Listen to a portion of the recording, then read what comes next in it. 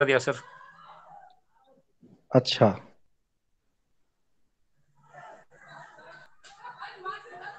तो आज की कक्षा शुरू करें? हाँ सर प्लीज़ सर आपके सिलेबस में हिंदी का जो चौथा पेपर है उसका नाम है कथा साहित्य।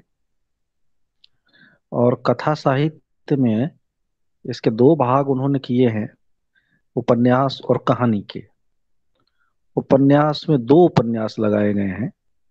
गोदान, जो कि प्रेमचंद का उपन्यास है, और राग दरबारी, जो श्रीलाल शुक्ल का उपन्यास है। और कहानियाँ उन्होंने आठ लगाई है। तो आठ कहानियों को हम दो कक्षा में पढ़ेंगे, और दो उपन्यासों को चार कक्षा में पढ़ेंगे। यानी कि एक कक्षा में दो कहानियों पर बात करेंगे। और उपन्यास को एक उपन्यास पे दो कक्षा यानी कि चार ये। तो आठ अगर उप, आ, क्लास आपके साथ होते तो हम जरा ठीक से बात कर पाते। लेकिन हमारे पास कुल चार कक्षाएँ हैं कथा साहित्य पर। तो हम एक कक्षा गोदान पर एक राग दरबारी पर दो और दो कक्षा में कहानियों पर बात करेंगे। तो आज मैं आपसे बात करना चाहता हूँ प्रेमचंद के मशहूर उपन्यास गोदान पर। सबसे पहले गोदान के शीर्षक पर थोड़ी सी बात करेंगे। गोदान जो उपन्यास है, उस पर हिंदी और उर्दू दोनों के लोग क्लेम करते हैं, दावा करते हैं। यह उपन्यास मूल रूप से हिंदी वाले कहते हैं कि हिंदी में लिखा गया। उर्दू के लोगों का कहना है कि ये गऊ दान के नाम से उर्दू में लिखा गया। क्योंकि प्रेमचंद के बारे में ये मशहूर है कि वो शुरू में उर्दू में लिखते थे और बाद में फिर उन्होंने उर्दू से हिंदी में उसका खुद ही अनुवाद किया और जब हिंदी में लिखते लिखते उनकी आदत बन गई तो फिर उन्होंने सीधे हिंदी में ही लिखना शुरू किया। लेकिन प्रेमचंद एक ऐसे उपन्यासकार हैं, एक ऐसे कथाकार हैं, जिनके ऊपर हिंदी और उर्दू दोनों का दावा है। तो इसलिए प्रेमचंद के उपन्यास गोदान पर जब हम बात कर रहे हैं तो मुझे ज़रूरी लगा कि मैं आपको गोदान और गौदान ये दोनों बातें आपको बताऊँ। तो ये आप ध्यान में रखें, जब भी उर्दू वाले गौदान कहें तो आप ये ना समझें कि उनको नहीं मालूम है या उनका उच्चारण खराब है, इसलिए वो गोदान को गौदान क्यों कह रहे हैं? ठीक है। इससे, इसके शीर्षक से एक बात तो क्लियर हो गई कि इस उपन्यास का जो शीर्षक गोदान है, वो दरअसल हिंदू धर्म की जो आस्था का प्रश्न है कि मोक्ष के लिए लोग गो का, यानी गो मतलब गाय का दान करते हैं। और वो दान इसलिए करते हैं कि हम इस लोक में मृत्यु लोक में अगर गाय का दान करेंगे तो मरने के बाद एक आख्यान है कि मरने के बाद जो मृतात्माएँ हैं, उनको जो बैतरनी नाम की एक नदी है, उसको पार करके तब उस पार जाना होता है और उस पार में तब जाकर के तय होता है, उसका हिसाब किताब जो है वो रखते हैं, चित्रगुप्त जी। और वो चित्रगुप्त लोगों का वही खाता निकाल करके बताते हैं कि इनको स्वर्ग भेजा जाए कि नरक भेजा जाए और नरक भेजा जाए तो कौन सी सजा दी जाए, वगैरह वगैरह। तो उसी से गोदान के आख्यान से ये जुड़ा हुआ उपन्यास है।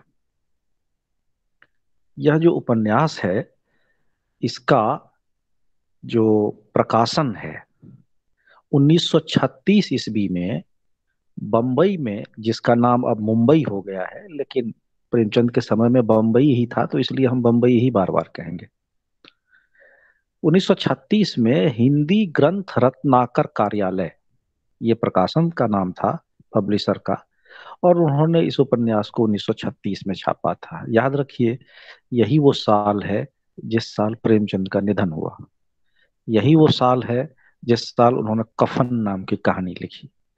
यही वो साल है जब लखनऊ में प्रगतिशील लेखक सम्मेल प्रगतिशील लेखक संघ की स्थापना का सम्मेलन हुआ था और प्रेमचंद उसमें गए थे।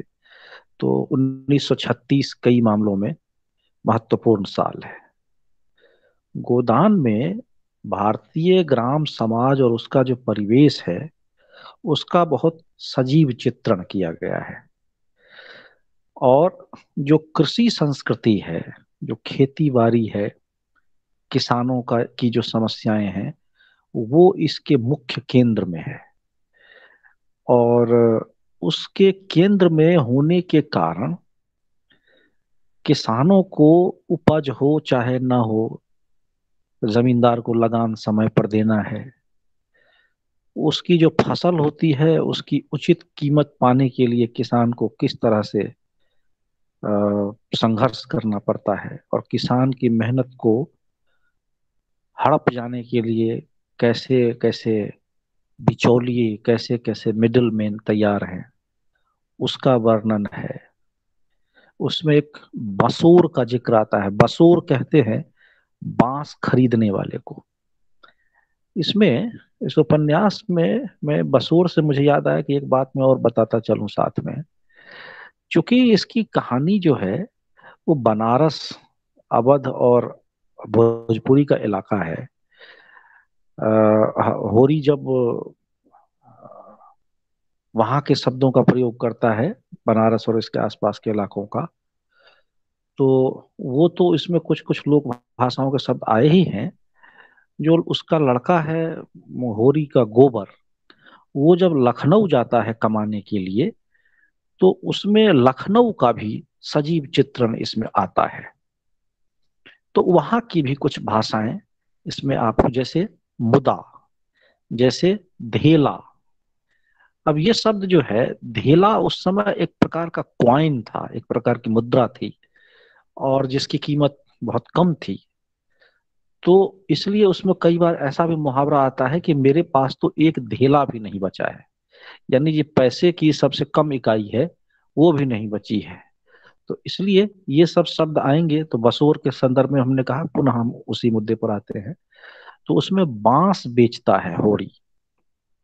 तो यानी कि सिर्फ़ गेहूँ या धान, चावल, दाल जो किसान उगाते हैं, या गन्ना शुगर केन, सिर्फ़ इसी से किसान की जो आर्थिक स्थिति है या गुजर बसर है सालों भर का, वो नहीं चल पाता है। तो उसको अतिरिक्त चीज़ों पर ध्यान देना पड़ता है। तो ये सब जो समस्याएँ हैं, वो केंद्र में है। अलावा इसके इस उपन्यास में एक दूसरी कहानी भी पैरेलल चलती है, और वो कहानी है शहरी जीवन की। जिस शहरी जीवन में मिस्टर मेहता है, मालती है, खन्ना है, राय साहब हैं। तो उसमें शहरी जीवन की ठाकुर अमरपाल सिंह हैं।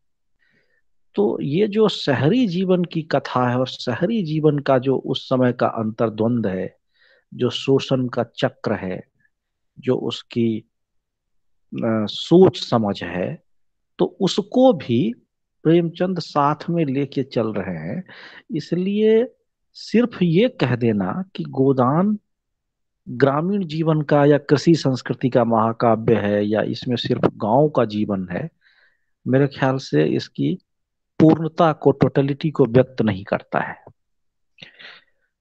हिंदी में गोदान को इस रूप में भी देखा जाए कि गोदान के जो नायक और नायिका होरी और धनिया है उसके परिवार के रूप में हम भारत की एक विशेष संस्कृति को सजीव और साकार पाते हैं।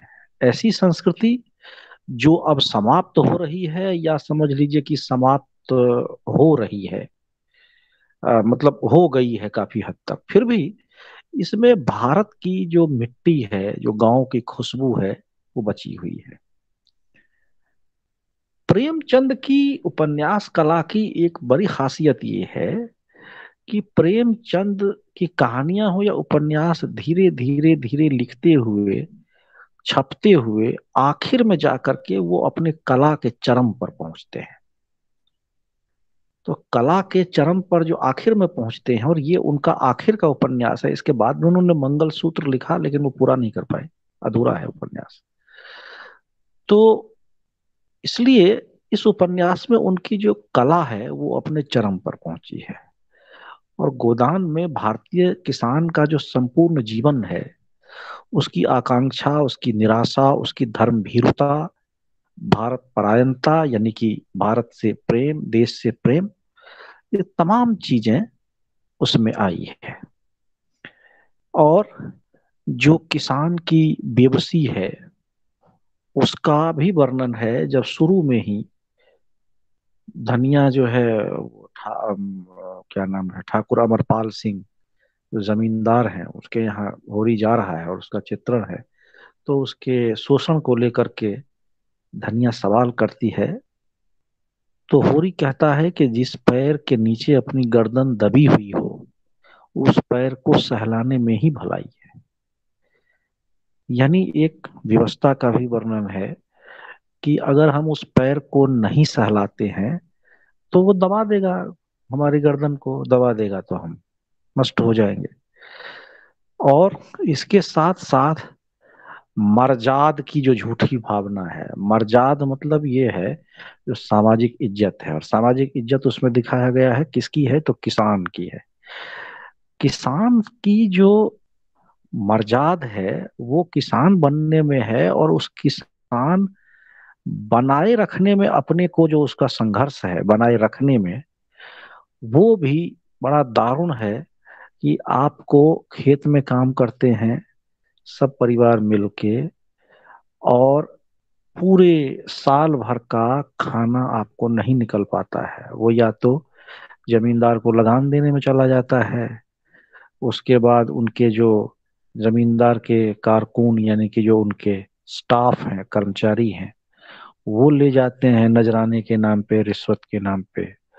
और फिर जो कर्ज हो जाता है बेटी की ब्याह में या और किसी फ़ंक्शन में, उसमें वो भी दिखाया गया है तो उसमें एक सहुआइन है, जो कहती है कि मैं रुपए आने सूद लेती हूँ। तो रुपए में और कई बार कहती है, मैं रुपए में चार आने सूद लेती हूँ। तो बाद में फिर उन्होंने महाजनी सभ्यता पर लेख भी लिखा था। तो आज हिसाब से देखिए तो रुपए का मतलब कि सौ अगर आप एक रुपए मान लीजिए और उसको एक रुपए को सौ रुपए की इकाई मान लीजिए और चार आना यानी पच्चीस पैसा तो सौ रुपए में पच्चीस रुपए सूद लेते हैं। यानी आपने किसी से एक सौ रुपए एक महीने के लिए उधार लिया तो आपको एक सौ पच्चीस रुपए उसके चुकाने होंगे, पच्चीस रुपए सूद के। इस हिसाब से देखिए तो कितना महँगा है कि आज होम लोन सात परसेंट ईयरली है। यानी आप सौ रुपए किसी से लोन पर बैंक से लेते हैं, होम लोन तो आपको एक वर्ष में एक सौ सात रुपए उसके चुकाने होंगे। और यहाँ पर एक महीने में ही एक सौ रुपए के एक सौ पच्चीस रुपए चुकाने होंगे। तो इससे पता चलता है कि सूद भी, यानी इंटरेस्ट भी कितना ज़्यादा देना पड़ता था। और इसीलिए जो कोई भी किसान एक बार किसी से कर्ज ले लेता था, किसी महाजन से तो वो फिर उस कर्ज के जाल से उबर नहीं पाता था। इसका भी वर्णन है कि होरी भी इस चक्र में फंसता है और उबर नहीं पाता है। इसका सबूत ये है कि होरी जब पंडित माता दीन से दाता दीन से माता दीन उनका बेटा था दाता दीन से कर्ज लेता है तो अपने ही खेत में, यानी अपना खेत जो है वो पंडित दाता दीन के पास गिरवी रखता है और अपने ही खेत में वो मजदूर बन जाता है। और जब वो ईख यानी शुगर केन उस खेत में बोता है तो वही दाता दीन होरी का खेत, होरी मजदूर बना हुआ और उसके ऊपर शासन चला रहा है, उसको डांटता फटकारता है कि ठीक से काम करो, ये करो, वो करो। तो उसमें एक दुलारी सहुआइन है, दुलारी सहुआइन से भी वो कर्ज लेते हैं और दुलारी सहुआइन के भी कर्ज के रेट को आप उसमें देखेंगे तो आपको आश्चर्य होगा कि उस समय जिसके पास भी जरा सा पैसा हो जाता है, वो सूद ब्याज पर पैसा लगाता है और ये काम होरी का बेटा गोबर वो भी करता है जब वो लखनऊ जाता है और कुछ पैसे कमा लेता है। तो इसमें ये जो चीज़ें हैं कि सिर्फ़ किसान की समस्या लगान देना और जमींदार का प्रताड़ना सहना ही नहीं है। उसमें ऋणग्रस्तता जो है, कर्ज में डूबा हुआ, तिल तिल कर मरता हुआ जो भारतीय समाज का जो बोन है, मेरुदंड है किसान, वो बहुत शिथिल और जर्जर हो जाता है। और शहर की जब वो कथा कहते हैं तो शहर की कथा में दिखाया है कि शहर में चहल पहल है, चकाचौंध है लेकिन इन्हों, इन लोगों ने किस तरह से गाँव की जो अच्छी चीज़ें हैं, उसको जैसे आसमान में बादल, सूरज की रोशनी को ढक लेते हैं, उसी तरह से गाँव की अच्छाइयों को ढक लिया है। और उसमें कौन कौन शामिल हैं? जमींदार, मिल के मालिक, अखबारों के संपादक, कॉलेज और यूनिवर्सिटी के अध्यापक और प्रोफेशनल वकील। ये सब और उसके साथ साथ शामिल हैं डॉक्टर पॉलिटिकल लीडर और राजा के स्टाफ ये सब कैसे जोंक बन करके गाँव के किसान का शोषण कर रहे हैं और गाँव के जो महाजन हैं, जो पुरोहित हैं, वो लोग उसकी सहायता कर रहे हैं। गोदान में ये सभी चीज़ों को उन्होंने बहुत बारीकी से दिखाया है और इसीलिए जो बीसवीं शताब्दी का, यानी कि ट्वेंटी सेंचुरी का जो तीसरा दशक है और चौथा दशक है थर्ड और फोर्थ जो डिकेड है, उस डिकेड के भारत का ऐसा सजीव चित्रण, ऐसा जीवंत वर्णन आपको किसी उपन्यास में नहीं मिलता है। पूरे जीवन का जो व्यंग है, जो विनोद है, जो कसक है और वेदना है, ये सभी चीज़ें उसमें आया है। जैसे पहले ही उपन्यास में, ये पहले ही चैप्टर में ये संकेत मिल जाता है। उदाहरण के लिए होरी एक खास तरह का कुर्ता होता है जो इधर उत्तर प्रदेश में उन दिनों पहनते थे, आज भी ब्रज के इलाके में पहनते हैं। आपको मैं बताऊँ, इसलिए उसका नाम पहले कुर्ते के बारे में बता देता हूँ। कुर्ते कई तरह के बनते हैं, आप जानते हैं। कहीं कॉलर वाले कुर्ते, कहीं बिना कॉलर वाले कुर्ते, कहीं हाथ में जो हमारा कलाई है, उसके पास ढीले ढाले, कहीं टाइट कहीं बटन वाले तरह तरह के हैं। एक कुर्ता होता है, जिसका प्रेमचंद ने यहाँ वर्णन किया है, वो हाफ़ होता है, यानी पूरे बाह का नहीं होता है, और उसमें बटन की जगह रस्सी लगे होते हैं, जिससे बाँध देते हैं उसको। ये आपको ब्रज के इलाके में, गुजरात में कहीं कहीं मिलेगा। इसको कहते हैं मिर्जई। तो वो मिर्जई जब पहनता है, होरी तो मिर्जई को पहनने के बाद वो, उसकी जो पत्नी है क्या नाम है, होरी की पत्नी, धनिया, वो कहती कि बड़े बन ठन के चले हो, जैसे कि ससुराल चले हो तो साठे पे पाठे बन रहे हो। साठे पे पाठा एक मुहावरा है, यानी कि जब आदमी साठ साल का हो जाए तो उसका मतलब है साठा और पाठा कहते हैं जो जवान बकरा होता है। तो यानी तुम साठ साल के हो गए तो जवान दिखने की कोशिश कर रहे हो। तो उसमें इस मज़ाक के बाद अगला जो संवाद है, जो डायलॉग है, वो तुरंत आता है कि इस उपन्यास में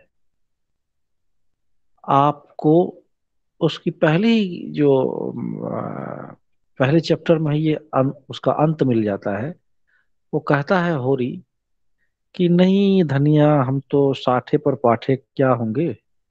हम तो साठ से पहले ही गुजर जाएँगे। यानी हम उतना समय तक जीवित नहीं रहेंगे। और ये होता भी है कि उतने समय तक वो जीवित नहीं रहता है और पहले ही गुजर जाता है। इतफाक से ये इस उपन्यास की ही सच्चाई नहीं है, यह प्रेमचंद के जीवन की भी सच्चाई है। प्रेमचंद भी मात्र छप्पन साल की उम्र में इस दुनिया से गुजर गए और प्रेमचंद को भी साठ साल होने का मौका नहीं मिला। यानी वो जो इस उपन्यास का लेखक है, वो खुद भी साठ का वो नहीं पाया, साठे पर पाठा नहीं हो पाया। तो ये है प्रेमचंद ने एक स्थान पर लिखा है कि उपन्यास में आपकी कलम में जितनी शक्ति हो, अपना ज़ोर दिखाइए, राजनीति पर तर्क कीजिए, किसी महफिल के वर्णन में दस बीस पृष्ठ लिख डालिए, कोई दूषण नहीं है। कहानी में ये नहीं है, क्योंकि कहानी को आपको कम में कहना पड़ता है। उपन्यास में आपके पास ये अवकाश होता है, क्योंकि उपन्यास जो है उसमें पृष्ठ की और उसकी कोई संख्या इस तरह से बंदिश नहीं है कि ज़्यादा लंबा नहीं होना चाहिए। प्रेमचंद के इस उपन्यास को लेकर के कई आलोचकों ने बहुत सी बातें कही हैं कि मार्मिक जीवन जो गाँव का है, वो ये उपन्यास प्रस्तुत करता है। पर मैं उस में जाने से पहले उस डिटेल में इस उपन्यास की शुरुआत से कुछ ऐसी चीज़ें मैं आपको बताना चाह रहा हूँ। जैसा मैंने भाषा को और लोकल जो वहाँ के शब्दावली है, जो स्थानीय शब्दावली है, उसको लेकर के बात की थी तो वो मैं आपको बता रहा हूँ। उपन्यास शुरू होता है, होरी राम ने दोनों बैलों को सानी पानी देकर अपनी स्त्री धनिया से कहा, गोबर को ऊख गोड़ने भेज देना। अब ये देखिए, गोड़ना शब्द क्या है? गोड़ना कहते हैं कि जो जो लोग, जो बच्चे आपके क्लास के जो स्टूडेंट गन्ने की खेती कैसे करते हैं शुगर केन की, उससे जुड़े हुए नहीं है, उनके लिए सूचना भी होगी इसमें गन्ना को क्या करते हैं कि उसको छोटे छोटे टुकड़ों में काट लेते हैं। छोटे टुकड़ों से मतलब है कि कम से कम एक फीट डेढ़ फीट का टुकड़ा। ठीक है? और एक डेढ़ फीट के टुकड़े को काट करके उसको जैसे कि एक लाइन में खेत में मान लीजिए कि 40 फीट लंबा खेत हो तो 40 फीट लंबा बिल्कुल रस्सी से खींच के या अंदाजे से एकदम सीधे लाइन में कम से कम आधा फीट छह इंच चौड़ा जो है कुदाल से या आजकल तो ट्रैक्टर से भी करते हैं। उसमें गड्ढा सा खोदते चले जाएँगे और उसके गड्ढे के बीच में जो गन्ने का टुकड़ा कटा हुआ है वो डालते जाएँगे और उसकी जो मिट्टी है उससे उसको ढक देंगे। इसको कहते हैं ऊख गोड़ना तो ये ऊख गोड़ना जो है यही दरअसल उसकी फ़ार्मिंग है ऊख की। तो वही अपनी स्त्री से धन होरी के, के कहता है अपनी स्त्री से अपने बेटे के लिए गोबर को ऊख गोड़ने भेज देना। मैं न जाने कब लौटू, जरा मेरी लाठी दे दे। धनिया के दोनों हाथ गोबर से भरे थे उपले पाथ कर आई थी। बोले, अरे, कुछ रस पानी तो कर लो, ऐसी जल्दी क्या है? पूरा गाँव का चित्रण है और मैं आपको इसमें सारी चीज़ें बता रहा हूँ कि कैसे आजकल ये चित्र आपको कम मिलेगा। क्योंकि तो आजकल अब हल बैल से नहीं, ट्रैक्टर से खेती हो रही है तो ये चीज़ें भी अब इतिहास में है। धनिया के दोनों हाथ गोबर से भरे थे। गोबर से भरे थे क्या मतलब? जो गाय, भैंस, बैल के गोबर हैं, उससे उपले बना रही थी। उपले कहते हैं, जिसको इंग्लिश में काउ डंग केक कहते हैं, जो जलावन के काम आता है, उसको गोबर को मिला करके उसमें जरा सा भूसा वगैरह और उसको छोटे छोटे केक के रूप में आग में वो आग कह रहे हैं धूप में सुखा लेते हैं फिर वो आग जलाने के काम, जलावन के काम में उसको लेते हैं। और धनिया कह रही कि रस पानी कर लो। ये रस पानी क्या है? रस पानी में भी देखिए, कोई सामान्य सा वाक्य लगता है, लेकिन उसमें पूरी संस्कृति छिपी हुई है। रस पानी का मतलब ये है कि जब आप पूरब में जाएँगे, जो ये इलाका है, जिस इलाके की ये कहानी है तो कोई अगर आपके घर में मेहमान तो बड़ी चीज़ है। अगर कोई अजनबी यात्री, मुसाफिर, पैसेंजर, जो उस रास्ते से पैदल जा रहा है, उन दिनों तो लोग ज़्यादातर पैदल ही चलते थे। बहुत कोई अमीर आदमी हुआ तो घोड़े से, हाथी से गया। लेकिन घोड़े और हाथी को तो लोअर मिडिल क्लास या मिडिल क्लास का आदमी रख नहीं सकता था। कि घोड़े को रखेगा तो उसको खिलाएगा क्या? उसकी तीमारदारी कौन करेगा? हाथी को रखेगा तो उतना खाना कहाँ से लाएगा? तो ज़्यादातर लोग पैदल ही चलते थे। तो पैदल चलने वाले मुसाफिरों को भी जब पानी देते थे पीने के लिए तो सिर्फ़ पानी नहीं देते थे। जरा सा उसमें कुछ मीठा, यानी जरा गुड़ का टुकड़ा।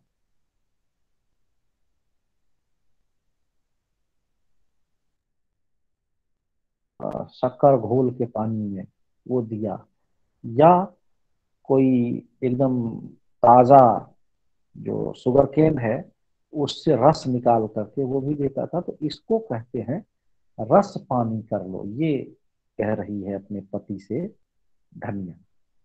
इसमें देखिए, ये भी पूरी संस्कृति आ गई।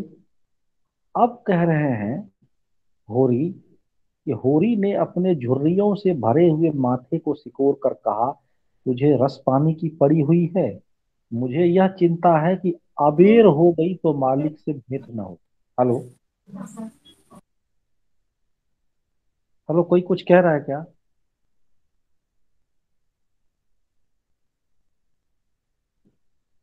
अच्छा ओके एक चीज़ बता दीजिए सब लोग। आवाज़ तो ठीक से आ रही है ना? जी आ रहे हैं। जी आ रही है। ठीक है ठीक है। अब इसमें देखिए एक शब्द आया है इस वाक्य में अबेर। अबेर हो गई तो मालिक से भेंट ना होगी। अबेर का मतलब है कि ज़्यादा देर ज़्यादा समय ये प्योर गाँव का शब्द है। और फिर है कि अगर स्नान पूजा करने लगेंगे तो घंटे, घंटों बैठे बीत जाएगा। स्नान शब्द है संस्कृत का, लेकिन यहाँ पे लिखा है स्नान। अब स्नान ही शब्द किसान कह सकता था तो उन्होंने इस चीज़ का भी ख्याल रखा प्रेमचंद ने। तो उसके बाद उसकी पत्नी धनिया कहती है कि इसी से तो कहती हूँ कि कुछ जलपान कर लो। आज न जाओगे तो कौन हरज होगा? अभी परसों तो गए थे। तो हरज शब्द जो है, वो जो उर्दू का शब्द है हर्ज, उसका एक रूप है। और इसमें है कि अभी परसों तो गए थे, यानी मतलब एक ही दिन हुआ है। तो फिर वो कहते हैं क्या कि तू जो बात नहीं समझती, उसमें टांग क्यों अड़ाती है भाई? लाठी दे दे और अपना काम देख। इस या, या इसी मिलने जुलने का प्रसाद है कि अब तक जान बची हुई है नहीं कहीं पता न लगता कि किधर गए। गाँव में इतने आदमी तो हैं किस पर बेदखली नहीं आई किस पर कुर्की नहीं आई। जब दूसरे पाँव के तले अपनी गर्दन दबी हुई हो तो उन पाँव को सहलाने में ही कुशल है। अब ये हमने पहले ही कहा अब धनिया क्या है कि जो उसकी पत्नी है, इंसाफ पसंद तो है, सही बात तो कह सकती है, लेकिन सही बात अगर आप आज भी किसी को कहें तो उसको पसंद नहीं आता है। अगर आप किसी को कोई बात ब्लंटली कह दें सीधे सीधे मुँह पे कह दें तो आप जानते हैं कि उसका असर क्या होता है। प्रेमचंद ने इसीलिए लिखा है कि धनिया इतनी व्यवहार कुशल नहीं थी। उसका विचार था कि हमने जमींदार के खेत जोते हैं तो वह अपना लगान ही तो लेगा। उसकी खुशामद क्यों करें? उसके तल, तलवे क्यों सहलाएँ? तो ये वो एक इंसाफ की बात करती है। लेकिन असल बात ये है कि अगर आप सिर्फ़ लगान और इंसाफ की बात करेंगे तो जमींदार आप ही को क्यों खेत देगा खेती करने के लिए? उसको कोई और मिल जाएगा, उसको दे देगा, जो उसकी खुशामद करेगा। तो जो उसकी खुशामद भी करेगा, लगान भी देगा, वो उसको इसलिए देगा कि आप तो सिर्फ़ लगान दे रहे थे, खुशामद नहीं कर रहे थे। और उसको खुशामद भी चाहिए क्योंकि उसका, उससे जो ईगो है, वो सेटिस्फाइड होता है। तो प्रेमचंद ने इसलिए लिखा है कि धनिया इतनी व्यवहार कुशल नहीं थी। तो ये एक बात जो है प्रेमचंद की कि उस समय का किसान अपने तमाम भोलेपन के बावजूद अपने तमाम अच्छाइयों, बुराइयों का पुंज होने के बावजूद इस बात को जानता था कि क्या करने से, क्या असर होगा और क्या नहीं करने से क्या असर होगा? तो प्रेमचंद ने इसलिए लिखा है कि वो बताते हैं कि चूँकि होरी मिलता जुलता रहा है जमींदार से, इसीलिए उसको खेत से बेदखल नहीं किया गया। उर्दू का शब्द है बेदखल। बेदखल मतलब जो दखल है, जो उसके पजेशन में है, उसको छीना नहीं है। बाकी लोगों पर आया है। बाकी लोगों पर क्यों आया? क्योंकि उन्होंने खुशामद नहीं की। बटरिंग नहीं की। फिर कह रहे हैं, कुर्की नहीं आई। कुर्की शब्द ये है कि कानून में जब कोई लगान न दे पाए, जब लैंड का जो टैक्स है वो नहीं दे पाए तो उनकी जो प्रॉपर्टी है, जो घर है, उसके जो सामान है, उसको निकाल करके ले जाते हैं। दैट इज़ कॉल्ड कुर्की।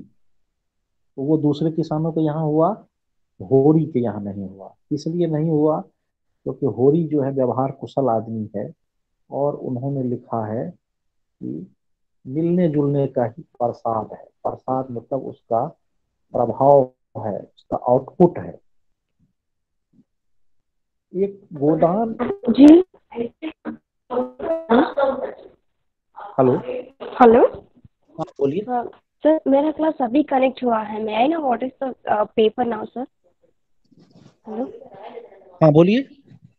सर मेरा क्लास अभी ज्वाइन हुआ है। मैं क्या जान सकता हूँ कि आप क्या सब्जेक्ट जा रहा है? सॉरी हाँ आपका जो जी। चौथा पेपर है उस चौथे पेपर का नाम है कथा साहित्य। जी हाँ ओके कथा साहित्य में उसके दो भाग हैं उपन्यास और कहानी। जी। तो आज जो पहला उपन्यास है गोदान उस पर बात कर रहे हैं। अच्छा thank you so much sir is it clear yes sir yes sir thank you thank you so much okay yes sir जी। हाँ और कोई कुछ कहना हाँ, चाहते बताइए। ये कुर्की कुर्की का अर्थ अर्थ प्लीज़ रिपीट कुर्की का अर्थ ये है कि जैसे आज भी पुलिस किसी अपराधी को पकड़ने के लिए दबिश देती है या उस पर छापामारी करती है और वो पकड़ में नहीं आता है तो उसके ऊपर प्रेशर बनाने के लिए ये करती है कि उसका जो घर है, उसके घर से सारा सामान निकाल करके पुलिस वाले ले जाते हैं और उसके घर में ताला लगा देते हैं और उसको सील कर देते हैं। तो उसके जो घर के लोग हैं वो कहाँ जाएँगे, नहीं जाएँगे, ये समस्या तो हो ही गई और उसको उसके प्रॉपर्टी से बेदखल कर दिया है। तो ये जो प्रोसेस है इसको कुर्की कहते हैं। क्लियर हो गया? हाँ धन्यवाद जी धन्यवाद। ठीक है। ओके थैंक प्रेमचंद के ही समय के एक उपन्यासकार बहुत मशहूर उपन्यासकार हुए जिनका नाम है जैनेन्द्र कुमार। आप सब जानते हैं जैनेन्द्र कुमार को उनके उपन्यास से। जैनेन्द्र कुमार ने प्रेमचंद के इस उपन्यास पर टिप्पणी करते हुए लिखा कि प्रेमचंद का गोदान यदि मैं लिखता तो उन्होंने लिखा है कि बहुत सी बातें उन्होंने लिखी, ये उनके मतलब निबंध का शीर्षक ही है। और उन्होंने लिखा है कि प्रेमचंद के सामने जैनेन्द्र थे और उनसे, प्रेमचंद से मिले भी थे। तो उन्होंने लिखा है कि प्रेमचंद कई बार कथानक के विस्तार का लोभ संवरण नहीं कर पाते हैं। यानी कि कथा को बढ़ाया जाए, इस लोभ को छोड़ नहीं पाते हैं। संवरण कहते हैं छोड़ना, या अपने को लिमिट में रखना। इससे कथानक की कसावट ढीली हो जाती है, विस्तार होने पर भाव कम हो जाता है। जैनेन्द्र की राय यह है कि अगर मैं गोदान लिखता तो इसमें इतने पृष्ठ नहीं होते। यानी ये उपन्यास इतना मोटा नहीं होता। और न ही उसमें इतने सारे पात्र होते। पात्रों की जो इतनी ज़्यादा संख्या है, उससे जैनेन्द्र को थोड़ा आश्चर्य होता है। उनका कहना है मैं महज दो चार पात्रों से काम चला लेता। गोदान में गाँव की कथा पर शहरी कथा के थोपे जाने की बात भी उन्होंने की है और उन्होंने भाषा मुहावरे वर्णन शैली पर तो मुग्ध हैं यानी उनको अच्छा लगा है। लेकिन उन्होंने लिखा है कि जैनेन्द्र ने कि जो शहरी कथा है जमींदार की मिल मालिक की मिस्टर खन्ना की उसके बाद आ, मालती की मिस्टर मेहता की ये सब नहीं होता अगर मैं लिखता तो। प्रेमचंद के ऊपर रामविलास शर्मा ने दो किताब लिखी जो हिंदी के आलोचक हुए रामविलास शर्मा।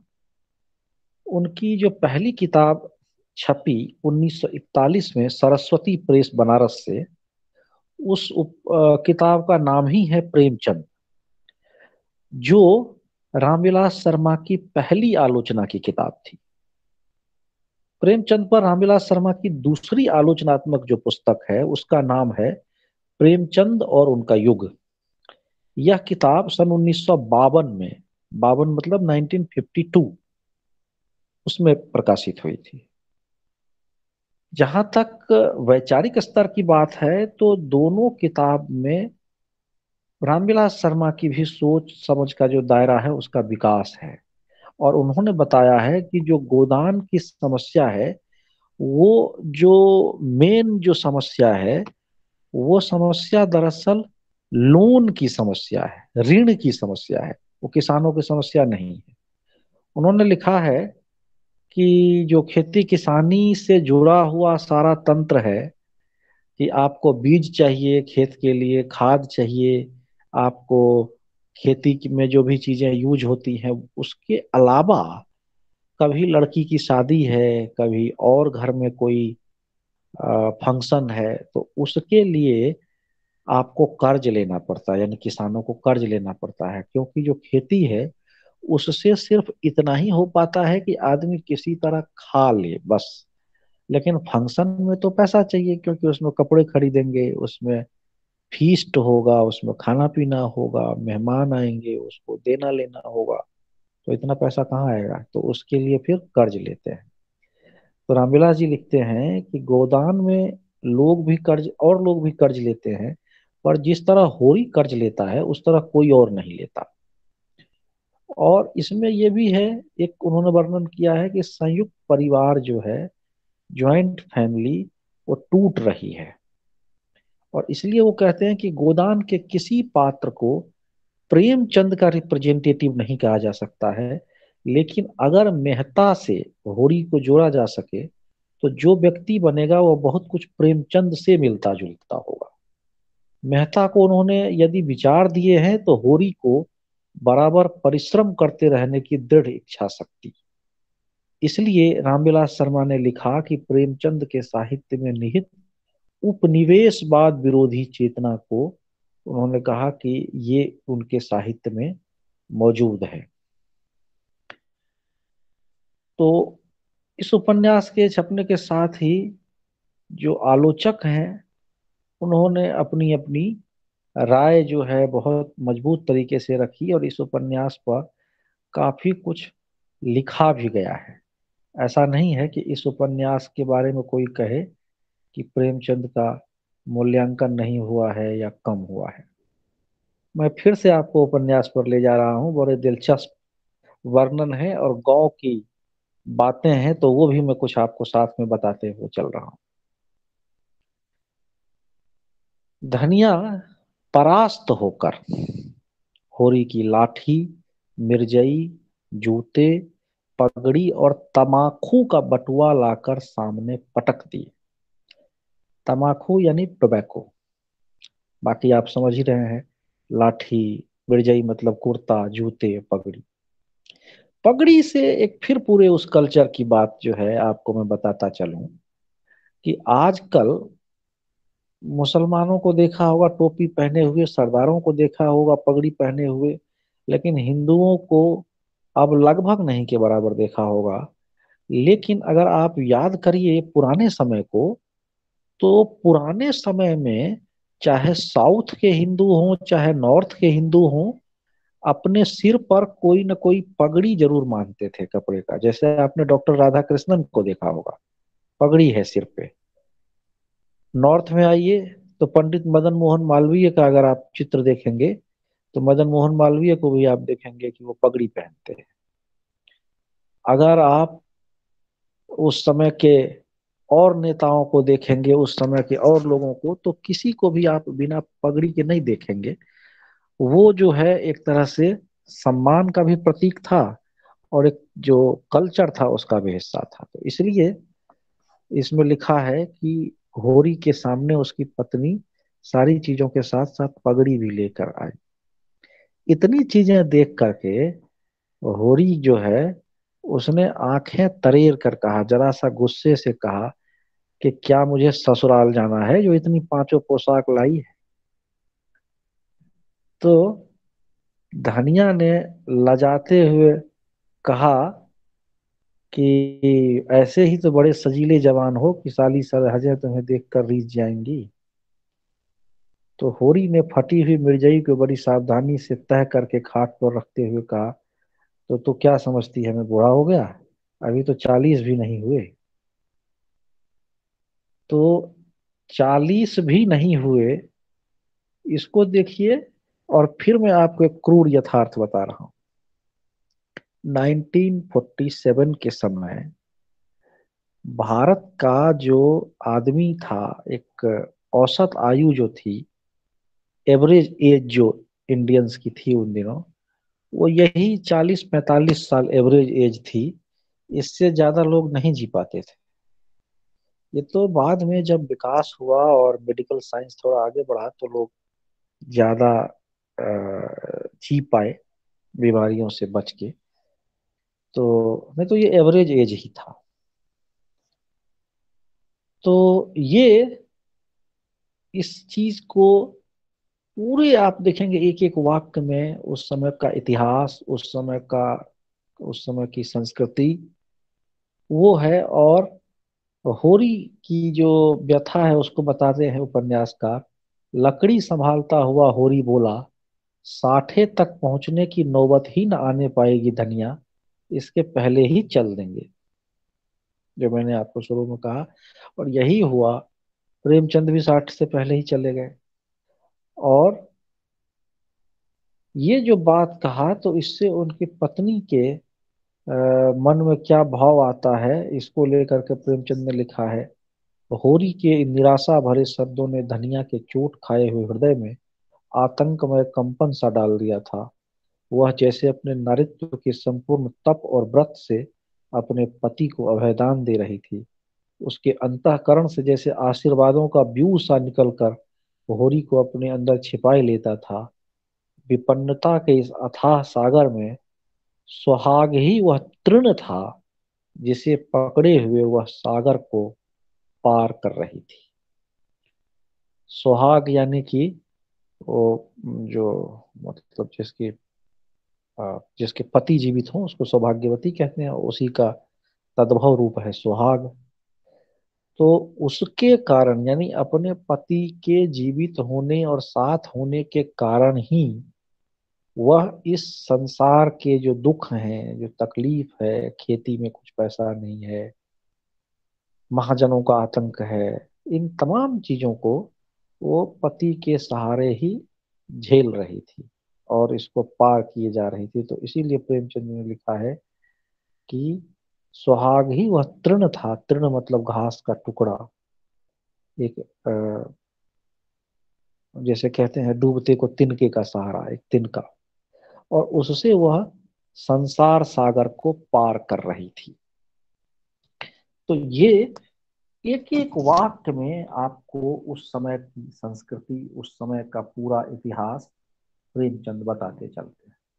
अब फिर से आपको मैं इस पर और किसने लिखा है और उनकी क्या राय है वो भी थोड़ा बताता चल रहा एक दूसरे आलोचक हुए रामविलास शर्मा के अलावा नंद दुलारे वाजपेयी, जिन्होंने प्रेमचंद पर सन उन्नीस सौ तिरपन में 1953 में किताब लिखी थी उस किताब का नाम था प्रेमचंद, एक साहित्यिक विवेचन।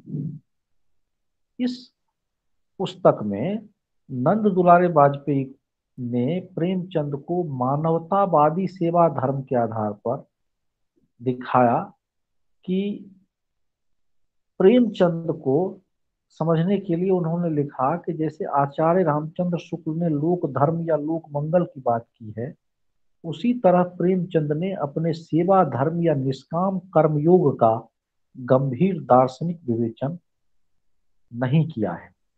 प्रेमचंद की इस तथाकथित कमी के आधार पर नंदुलारे वाजपेयी बताते हैं कि प्रेमचंद की वर्णन क्षमता पाठकों को तो भाव में बहा ले जाती है, पर चित्रण के अभाव में व्यक्ति को उसकी गहरी पहचान में नहीं उभार पाती। होरी पाठक में करुणा का संचार करता है पर इस भाव संसार, संचार के पीछे बुद्धि के रेशम की डोरी भी हो तो भाव संचार दिगंत पेंग मार सकता है।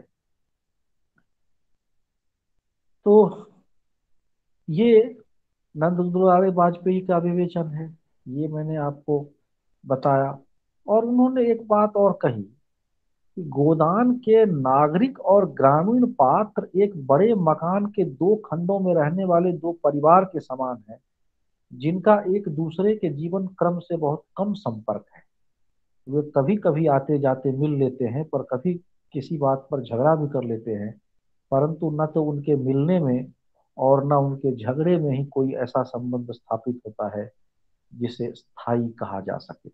यह आज भी एक बड़ी टिप्पणी है कि देश में किसानों का आंदोलन चल रहा है और किसानों से ये पूछा ही नहीं गया, ना पूछा ही जाता है कि जो कानून बनाया जा रहा है या जो कानून बना है, वो उनके अगर हित में है तो किस तरह से हित में है? और अगर हित में नहीं है तो उसको बनाने वालों ने ध्यान क्यों नहीं रखा? इसका एकमात्र कारण ये है कि जो शहरी जीवन है और जो ग्रामीण जीवन है, इन दोनों जीवन के बारे में दोनों को कम जानकारी है और दोनों के बीच में संवाद नहीं है डायलॉग नहीं है। इसीलिए जो लोग ये आंकड़ा जारी करते हैं कि प्रतिदिन थर्टी सेवन रुपीज़ में या ट्वेंटी सेवन रुपीज़ में या थर्टी टू रुपीज़ में जो अलग अलग आंकड़े आते हैं कि भारत का आदमी गुजारा कर सकता है। वो जो कि ऐसा आदमी ये कानून बनाता है और ये आंकड़े जारी करता है, लिखता है, जो कि कम से कम तीस पैंतीस लाख के तो टॉयलेट को यूज़ करता है, इतने महँगे टॉयलेट को, और वो आदमी बताता है बैठ करके एसी में कि थर्टी टू रुपीज़ में आप पूरी फैमिली के साथ पूरे एक दिन का गुजारा कर सकते हैं। हम आप जानते हैं कि थर्टी टू रुपीज़ में एक आदमी एक टाइम का ब्रेकफास्ट भी नहीं कर सकता है। प्रेमचंद के इस ग्रामीण जीवन को जो कथा है और इसमें जो ये आया है, इसी तरह से नंद दुलारे वाजपेयी ने ये व्यंग किया है। ये दोनों तो इसमें है, लेकिन दोनों कथा, लेकिन दोनों का दोनों से संवाद नहीं है। दोनों एक दूसरे के बारे में बहुत कम जानते हैं। इसलिए दोनों को एक जगह होने के बावजूद एक दूसरे के बारे में पता नहीं चलता है। इंद्रनाथ मदान एक आलोचक हुए। उन्होंने लिखा है कि गोदान में जो नगर कथा है, इसका अभिन्न अंग नहीं है, बाहर की चीज़ मैल है, जिसे धोया जा सकता है और आसानी से इसको उपन्यास से बाहर निकाला जा सकता है। और अपनी इस मान्यता के साथ उन्होंने नंद दुलारी मान, जो वाजपेयी ने कहा, उनकी मान्यता को दोहराया। उसी चीज़ को सपोर्ट किया। लेकिन बाद में इंद्रनाथ मदान ने यह माना कि उनका मत अतिरंजित है, यानी उन्होंने ओवर रिएक्ट किया। और भूल सुधार करते हुए बाद में उन्होंने यह जोड़ा कि देहात और शहर की कथा एक दूसरे का पूरक है और उपन्यास की संरचना के मूल में है। यानी उपन्यासकार का उद्देश्य ये है कि अगर सिर्फ़ ग्रामीण जीवन की कथा बताते तो आपको उस समय का जो शहरी समाज था, जो अर्बन क्लास था, जो अर्बन सोसाइटी थी अर्बन सोसाइटी के बारे में आपको कुछ नहीं मालूम होता। या जो जो गाँव के लोग थे, जो रूरल सोसाइटी थी, उन्हीं के बारे में खाली पता चलता। तो प्रेमचंद ने रूरल और अर्बन दोनों सोसाइटी के रियलिटी को, दोनों सोसाइटी के यथार्थ को उस उपन्यास में दिखाया है और उसका उद्देश्य ये है उस डिकेड का, उस समय का जो रियलिटी है, दोनों समाज का उसको आप जान सकें। मीनाक्षी मुखर्जी अंग्रेज़ी की नहीं है, लेकिन उन्होंने लिखा है गोदान को लेकर के, गोदान इमेजिनेशन एंड रियलिटी इसमें वो लिखती हैं कि गोदान उपन्यास में जो तीसरे दशक के मार्क्सवाद और उसकी विरोधाभासी स्थिति है, उसको गोबर के चरित्र में देखा जा सकता है। गोबर का चरित्र यानी जो होरी का बेटा है। उपन्यास में पाठक की सहानुभूति जड़ और श्रेणीबद्ध समाज को खत्म करने की बात करने वाले विद्रोही चरित्र गोबर के पक्ष में नहीं जाती। वह जाती है किसके पक्ष में? तो भाग्य, नियति और मर्जाद की रक्षा करने वाले उसके पिता होरी के पक्ष में। मीनाक्षी मुखर्जी के अनुसार प्रेमचंद खन्ना जैसे पात्र का निर्माण करते हैं और उसके चरित्र द्वारा यह बताते हैं कि कैसे पूंजी एक मनुष्य को अमानवीय बना देती है। कफन जो है वो इसी सिक्के का दूसरा पहलू है कि अमानवीयता पूंजी द्वारा ही नहीं वरन इसके नितान्त अभाव में पैदा हो सकती है और उनका मानना है कि बेलारी गाँव सेवरी और बेलारी दो गाँव का चित्रण है। बेलारी गाँव और होरी के परिवार के चारों ओर घूमती होरी की जो कथा है, एवं शहर की मंडलियों और गोष्ठियों के इर्द गिर्द घूमती जो मेहता और मालती की कथा है, उसके बीच रियलिटी यानी वास्तविकता और कल्पना का अंतर है। मतलब उपन्यास में और दंत कथा में जिस तरह का अंतर होता है। राय साहब और होरी के चित्रण द्वारा काफ़ी हद तक उन्होंने यह बताने की कोशिश की है कि अलग अलग जो आर्थिक स्तर है, उनके कारण सामाजिक व्यवस्था के दो पक्ष हैं। तो मीनाक्षी मुखर्जी का ये कहना है, फिर गोपाल राय की एक किताब है, गोदान नया परिप्रेक्ष्य। उसमें उन्होंने शेक्सपियर का जो, उसकी जो किताब है, शेक्सपियर की मैकबेथ और गोदान। इसमें उन्होंने तुलना करते हुए बताया कि गोदान जो है वो भी एक महत्वाकांक्षा की ट्रेजिडी है। मेकबेथ को राज्य की सत्ता और आ, सत्ता की महत्वाकांक्षा है यानी वो सत्ता चाहता है और होरी को गाय की। उनका यह भी मानना है वेणुगोपाल राय का कि प्रेमचंद ब्रह्मचर्य के गांधीवादी आदर्श को स्वीकार करके ही स्त्री पुरुष को मित्र के रूप में जीवन बिताने की बात कहते हैं। जो आदर्श रूप में जितनी मूल्यवान है, मानवीय यथार्थ के रूप में उतनी मूल्यवान नहीं है। ये किसके संदर्भ में है? कि मिस्टर मेहता और मिस मालती, ये दोनों मित्र होने के बावजूद अंत में ये तय करते हैं कि वो शादी नहीं करेंगे। उसकी ओर उनका इशारा है।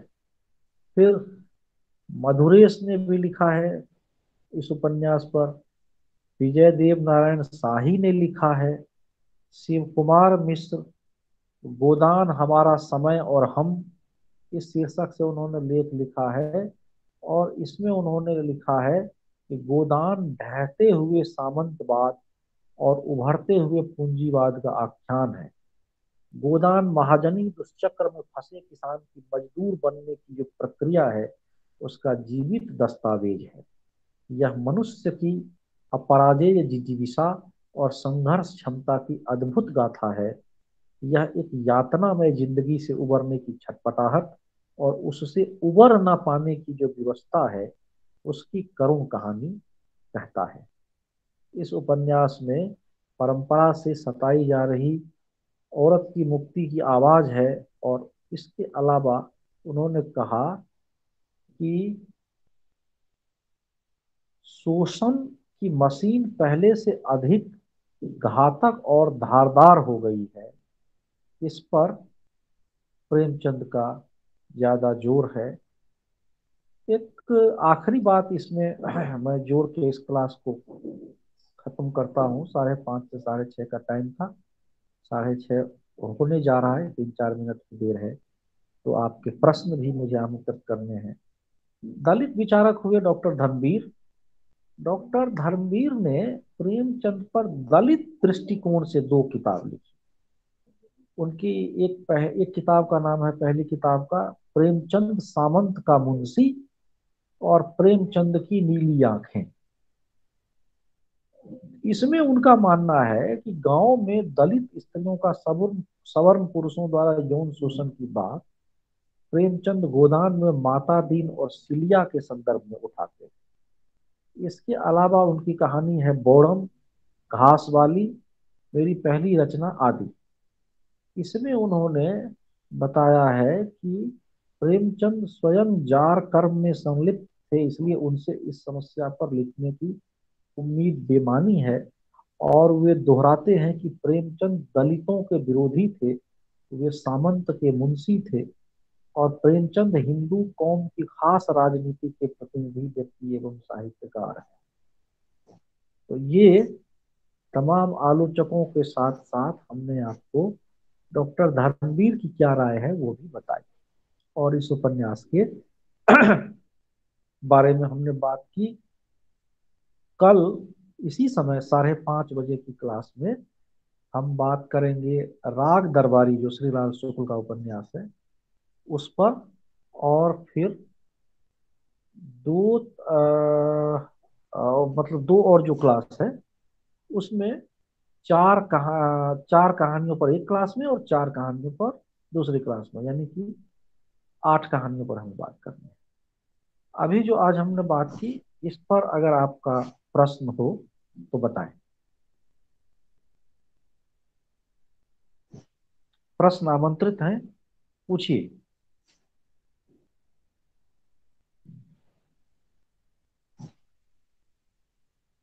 जी नहीं सब कुछ स्पष्ट है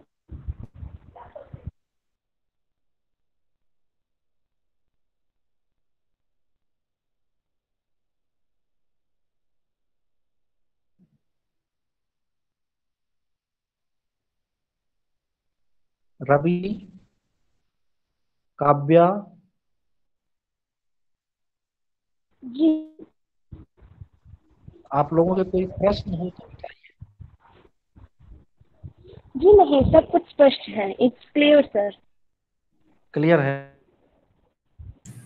यस सर इट्स और कल जी। कल इसी समय आप लोग क्लास में जुड़ेंगे साढ़े पाँच बजे और साढ़े पाँच से साढ़े छः के बीच में हमारी बातचीत हो। जी आप विषय और एक बार दोहराएँगे कल आप क्या पढ़ाने जा रहे हैं? कल मैं पढ़ाऊँगा श्रीलाल शुक्ल का उपन्यास है राग दरबारी। जी। राग दरबारी। जी okay noted sir thank you for stories ऐसा सर शॉर्ट स्टोरी नहीं उपन्यास है राग दरबारी। उपन्यास। हाँ। तो आज थैंक यू सर समाप्त किया जाए? सर रवि सर कुछ बताना चाहते हैं। माइक ऑफ़ कर रही हूँ। हाँ रवि जी बताइए।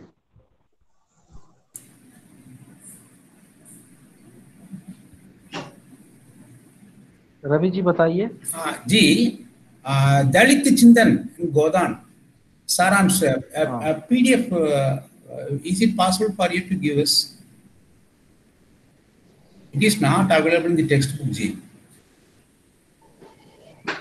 अगले साल was so- हाँ। क्वेश्चन पेपर में एक एक अच्छा। आप, आपकी आवाज़ थोड़ा कट कट के आ रही है। तो आप चाहें तो अपना जो प्रश्न है जो क्वेश्चन है वो शॉर्ट में बताइए या लिख के बताइए व्हाट इज़ योर क्वेश्चन दलित चिंतन का सारांश इन गोदान में। दलित चिंतन का सारांश मैंने बताया कि जो उसमें एक पात्र है माता दी और एक लड़की है सिलिया। सिलिया जो है वो शेड्यूल्ड कास्ट है और जो दात माता दीन है, वो ब्राह्मण है। सिलिया में और माता दीन में प्रेम है और संबंध है दोनों में। तो ये ही एक उसमें आया है गोदान में ज़िक्र। इसके अलावा इसमें सारांश कहिए या पूरा फैलाव कहिए, इसके अलावा और कोई दलित दृश्य नहीं है इस उपन्यास is it clear Uh, Gorika family, the the Dalit परिवार हाँ? होली का होली का जो फैमिली है वो दलित परिवार नहीं है वो ओबीसी है ओ कुर्मी जाति का है जो उत्तर प्रदेश में होते हैं ओ हाँ इसलिए उसका नाम होरी महतो है ठीक है हाँ धन्यवाद जी हाँ और कोई सवाल?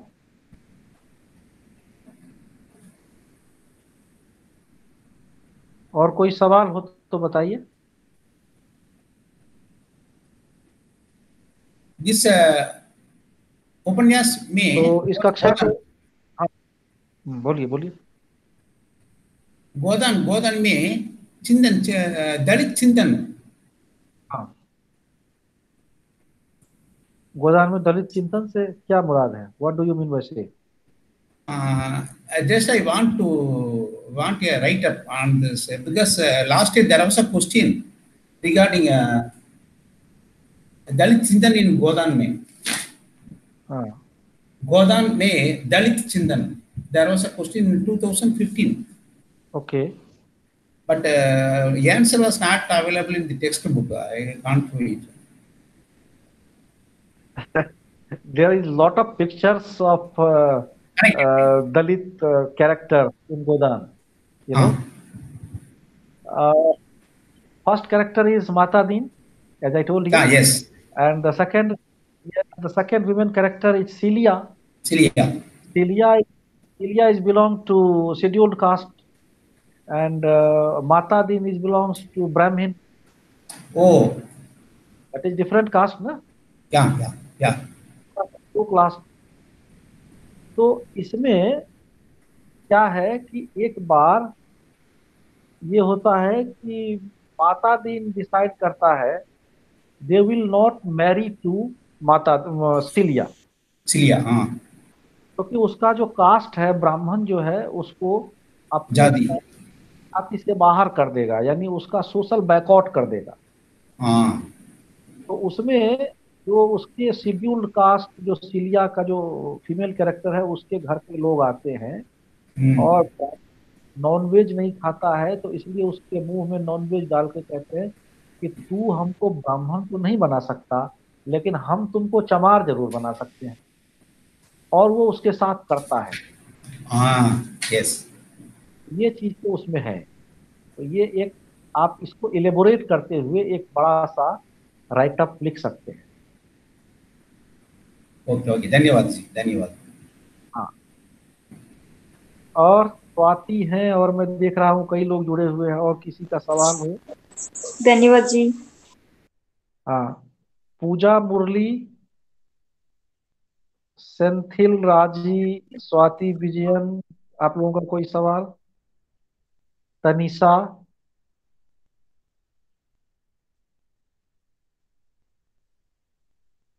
नहीं? तो आज की कक्षा को यहीं विराम दें यहीं समाप्त करें।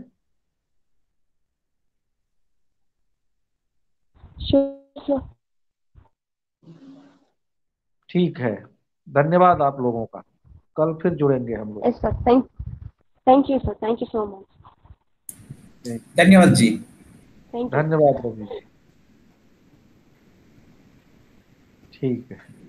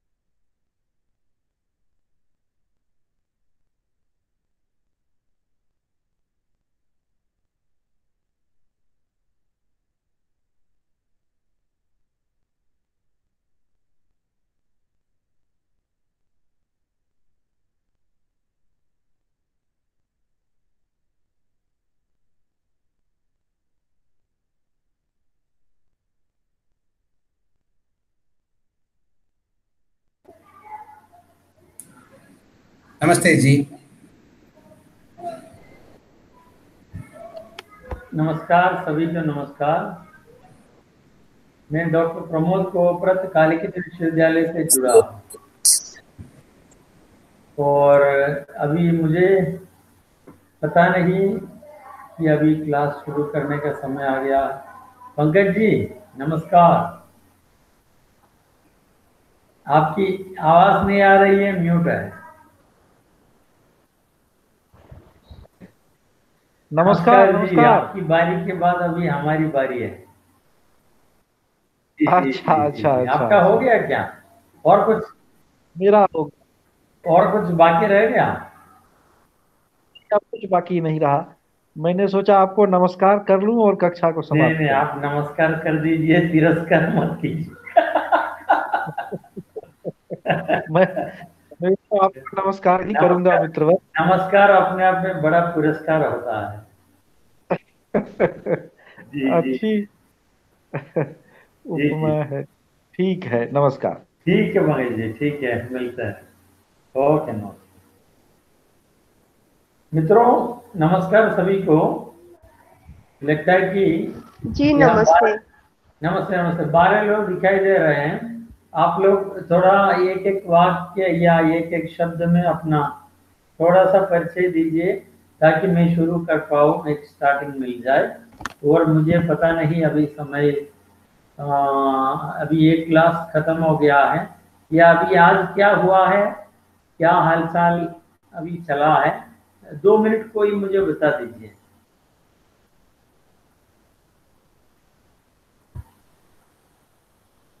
सर पिछले क्लास का विषय में बताऊँ? जी जी।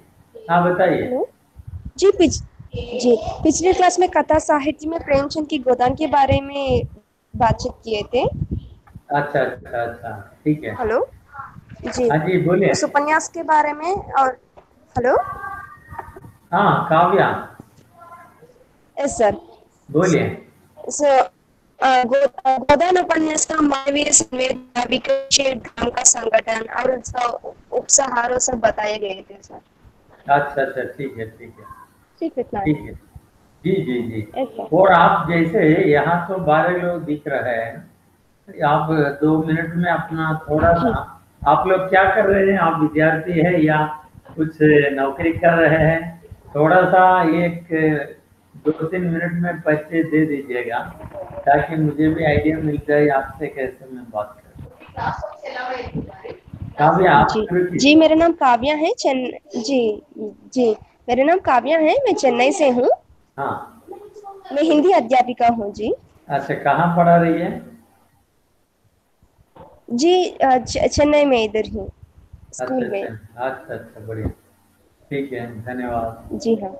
हाँ हाँ। सर थैंक यू नमस्ते जी। नमस्ते। नम- नमस्ते जी मैं हूँ प्रभावती मैं नईवेली में रखती हूँ। अच्छा। मैं हिंदी अध्यापक हूँ। से टेंथ तक मैं क्लास कर रही हूँ। अच्छा बहुत अच्छा बहुत बढ़िया। ठीक है धन्यवाद। जी जी जी।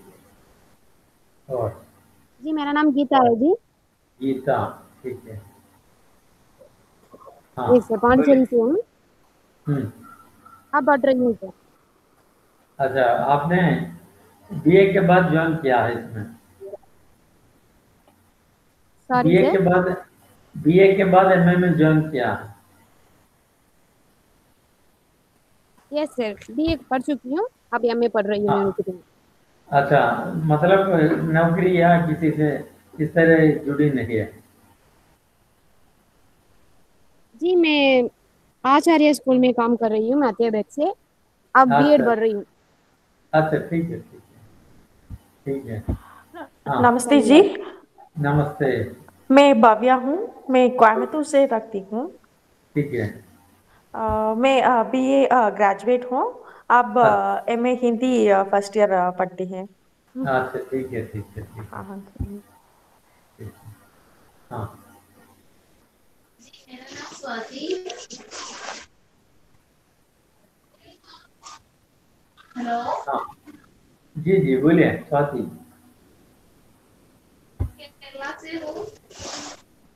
कहाँ से हैं?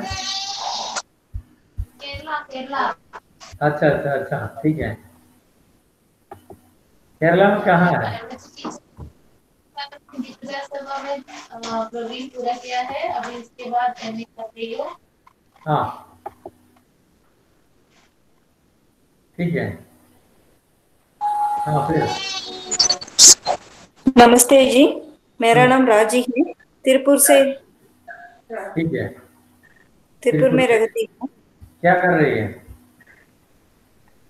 मैं घर में क्लास हिंदी क्लास सिखाती हूँ।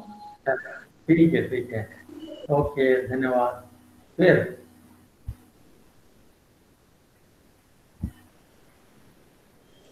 नमस्ते जी। नमस्ते। अ, मेरा नाम पूजा और मैं कन्याकुमारी हाँ। हम्म। कन्याकुमारी से। हाँ मैं कन्याकुमारी से। जी जी जी जी। क्या कर रही है? मैं हाउसवाइफ हूँ। एक्चुअली मैं ग्रेजुएट हूँ अभी मैं हाउसवाइफ हूँ। जी जी ठीक है। फिर? धन्यवाद। नमस्ते जी। नमस्ते। मेरा नाम रविचंद्रन है। जी। मैं पांडिचेरी में रहती हूँ। अच्छा। B S N L retired B R S अच्छा अच्छा बहुत अच्छा। थैंक यू अच्छा। धन्यवाद। हाँ। हो गया और कोई है? निमिषा। जी। नहीं सिर्फ़ सिर्फ़ हाट आटी लोग। हैं? नमस्ते जी। हाँ हेलो नमस्ते। हाँ बोलिए। मेरा नाम निमिषा है। मैं अभी ऑनलाइन क्लास कर चल रही हूँ। यहाँ हाँ। केरला में। हाँ। कहाँ? केरला केरला। केरला में इधर किस जगह? कन्नूर केरला कन्नूर में। कन्नूर में कहाँ है? आप कन्नूर में आपको पता है माही? हाँ माही तो इतना फ़ेमस है। हाँ, वहाँ। अच्छा अच्छा। आपने बीए कहाँ से किया है? बीए में Mahatma Gandhi government arts college में। अच्छा अच्छा अच्छा। ठीक है ठीक है। ठीक है। Okay thank you sir okay right फिर कानिशा कानिशा कानिशा चली गई क्या?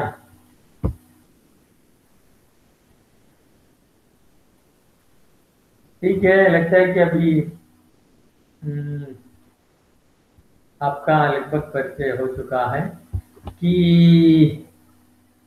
अभी मैं बहुत ही असमंजस में पड़ा हुआ हूँ कि आप कहाँ से शुरू करें। बहुत बड़ा विषय है।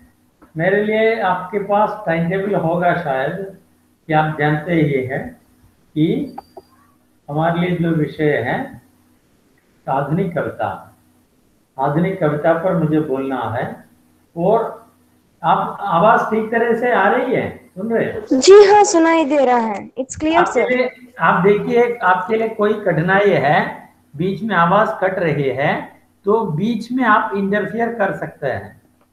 और आप जब भी चाहे इंटरफियर करके मुझे बोल सकते हैं ठीक है? ओके सर जी जी। ठीक है। तो अभी मैं आपको बताने वाला हूँ कि मेरे लिए जो पेपर रखा है, वो आधुनिक कविता है। आधुनिक कविता है। उसमें आपने सिलेबस में देखा होगा कि निराला, जयशंकर प्रसाद निराला का एक काव्य संकलन है। क्या नाम है?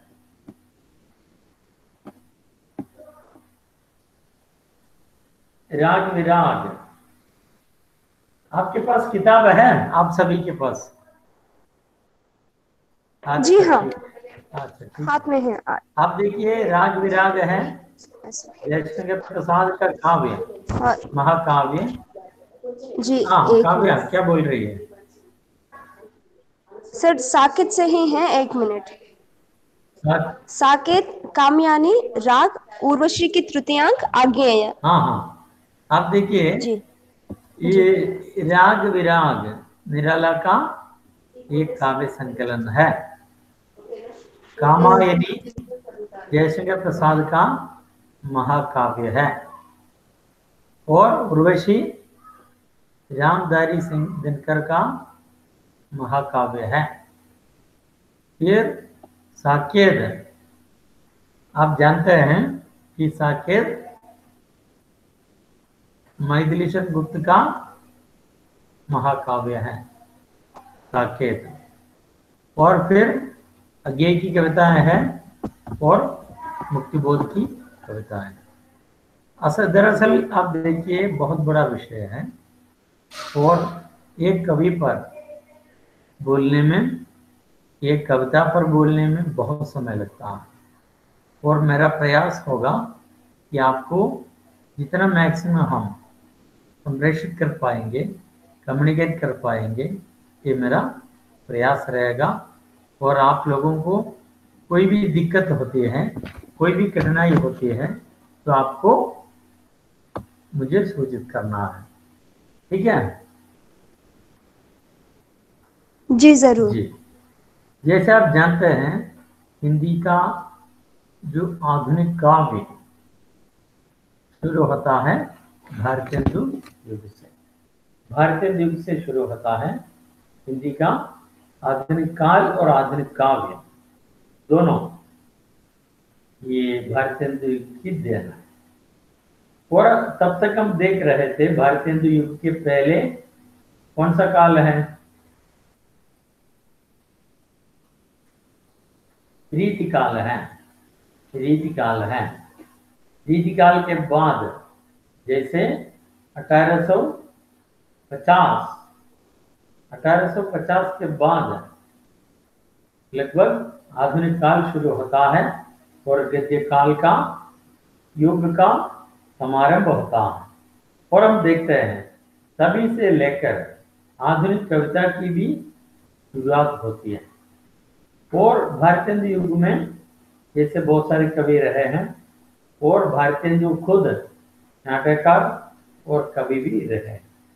अधिकतर उस समय की कविताएँ ब्रज भाषा में लिखी जा रही थी और भारतेंदु युग के बाद, आप जानते हैं, आपने पढ़ा होगा कि द्विवेद युग द्विवेद युग का समय आता है। द्विवेदी का पूरा नाम क्या है?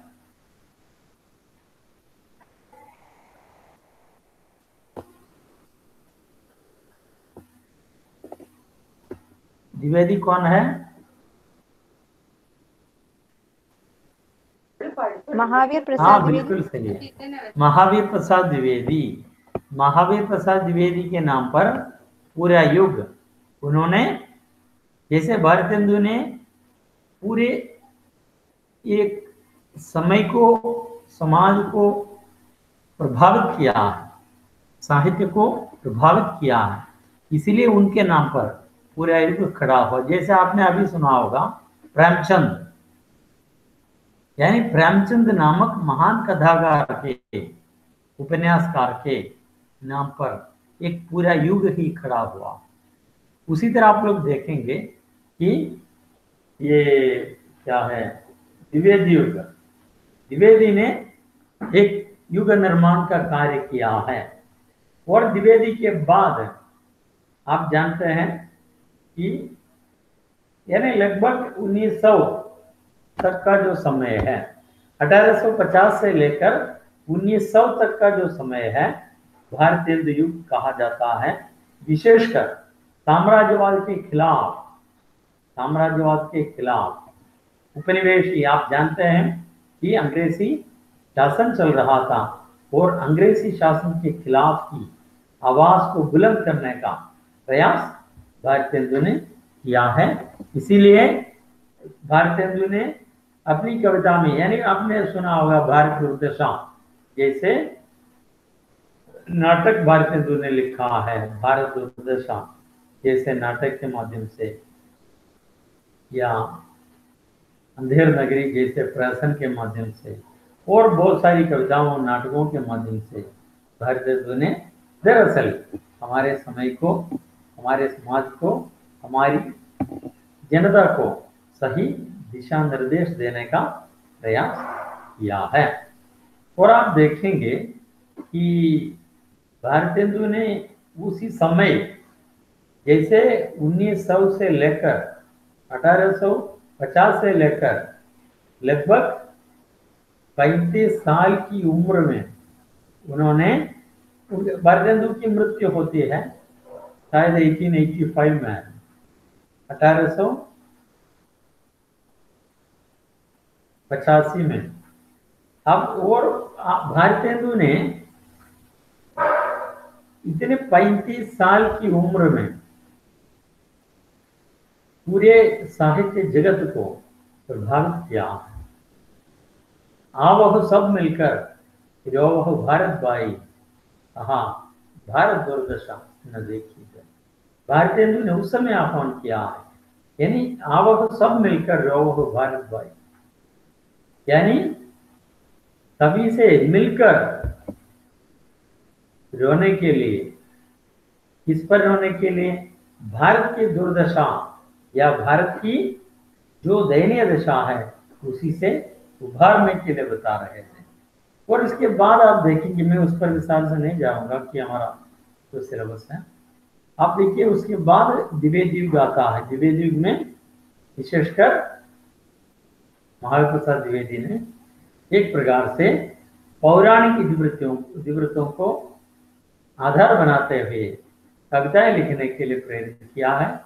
दूसरी ओर, गद्य की ओर, निबंध की ओर महावीर प्रसाद द्विवेदी ने सभी को, सभी रचनाकारों को प्रेरित किया और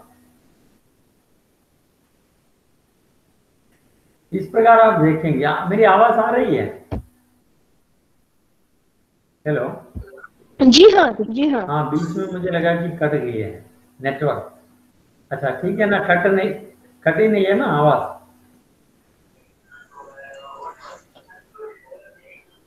आपका आवाज़ क्लियर जी। अच्छा ठीक है धन्यवाद। ऐसा है कि आप जैसे भारतेंद्र के बाद द्विवेद युग आता है द्विवेद युग में जैसे आप जानते हैं कि मैथिली शरण गुप्त जैसे कवि, सियाराम शरण गुप्त जैसे कवि, उसी समय के कवि है। हरियव जैसे कवि, यानी खड़ी बोली हिंदी का प्रथम महाकाव्य, महाकवि बनने का श्रेय अयोध्या सिंह उपाध्याय हरियव को प्राप्त है। हरियोध का प्रिय प्रवास खड़ी बोली का प्रथम महाकाव्य माना जाता है। और साकेत जो है, साकेत आप जानते हैं? साकेत किसको केंद्रित करके लिखा गया काव्य है? कौन बता सकता है? यशोधरा। यशोधरा नहीं है। अब देखिए मैथिली गुप्त ने यशोधरा नामक काव्य ही लिखा अलग से। हाँ। उर्मिला। उर्मिला। आप देखिए एक गलतफहमी यह है कि उर्मिला जैसे आपके लिए हाँ। कौन बोल रहे हैं? हाँ रेड्डी जी। हाँ लक्ष्मी का पत्नी उर्मिला। जी हाँ लक्ष्मण की पत्नी हाँ जी सही ठीक है ठीक है। हाँ सर। ऐसा है कि लक्ष्मण की पत्नी उर्मिला है। आप देखिए साकेत का नवंसर्ग आपको सिलेबस में। इसका मतलब ये नहीं है कि साकेत के केंद्र में उर्मिला है। ये गलत है। क्योंकि असल में मैथिली गुप्त ने उपेक्षित पात्रों पर लिखा है। मैथिली गुप्त ने उपेक्षित पात्रों पर लिखा है। उपेक्षित पात्र यशोधरा विष्णु प्रिया या इस तरह के उर्मिला जैसे पात्र हैं, उन्हीं पर उन्होंने इसलिए लिखा है कि किससे प्रेरणा मिली है महावीर प्रसाद द्विवेदी से। महावीर प्रसाद द्विवेदी से उनको अपेक्षित पात्रों पर लिखने के लिए प्रेरणा मिली है। महावीर प्रसाद द्विवेदी को कहाँ से प्रेरणा मिली है? रविंद्रनाथ टैगोर। रविंद्रनाथ टैगोर ने काव्येर उपेक्षदा काव्येर उपेक्षदा नामक निबंध लिखा और उसी से प्रेरित होकर हमारे द्विवेदी ने महावीर प्रसाद द्विवेदी ने कवियों की उर्मिला विषय उदासीनता नामक निबंध लिखा कवियों की उर्मिला विषय उदासीनता इस निबंध से प्रेरणा पाकर मैथिली शरण गुप्त ने पुराणों के अभिशप्त और उपेक्षित पात्रों पर लिखने का प्रयास किया है उन्होंने कैकेयी पर कुछ पंक्तियों में कैकेयी पर उन्होंने लिखा है, यशोधरा पर लिखा है, यानी जितने भी पुराण में अभिशप्त, कलंकित, उपेक्षित ऐसे ऐसे पात्र हैं, उन सभी को, उन सभी के आंसुओं को धोने का प्रयास। आप देखेंगे साकेत असल में, उर्मिला केंद्रित काम में है। साकेत का एक ही सर्ग रखा गया है। नवम सर्ग, उर्मिला के साकेत का मूल प्रतिवाद क्या है? राम भक्ति है। राम भक्ति, राम तुम्हारा वृत्त ही स्वयं काव्य है। कोई कवि बन जाए, सहज संभाव्य। मैथिली गुप्त ने साकेत के प्रारंभ में दो पंक्तियाँ लिखी। साकेत के प्रारंभ में दो पंक्तियाँ लिखी है राम तुम्हारा वृत्त ही स्वयं काव्य है। कोई कवि बन जाए, सहज संभाव्य यानी तुम्हारा वृत्त हे राम, यानी राम भक्ति में मैथिलीशरण गुप्त आकंड डूब कर वैष्णव भक्त कवि है। राम भक्ति में आकंड डूब कर मैथिलीशरण गुप्त ने साकेत का अर्थ क्या है? कौन बता सकता है? गौरी। साकेत शब्द का अर्थ क्या है?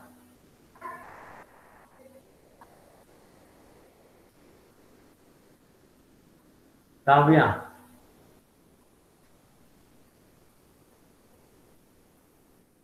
साकेत शब्द का अर्थ क्या है? जी।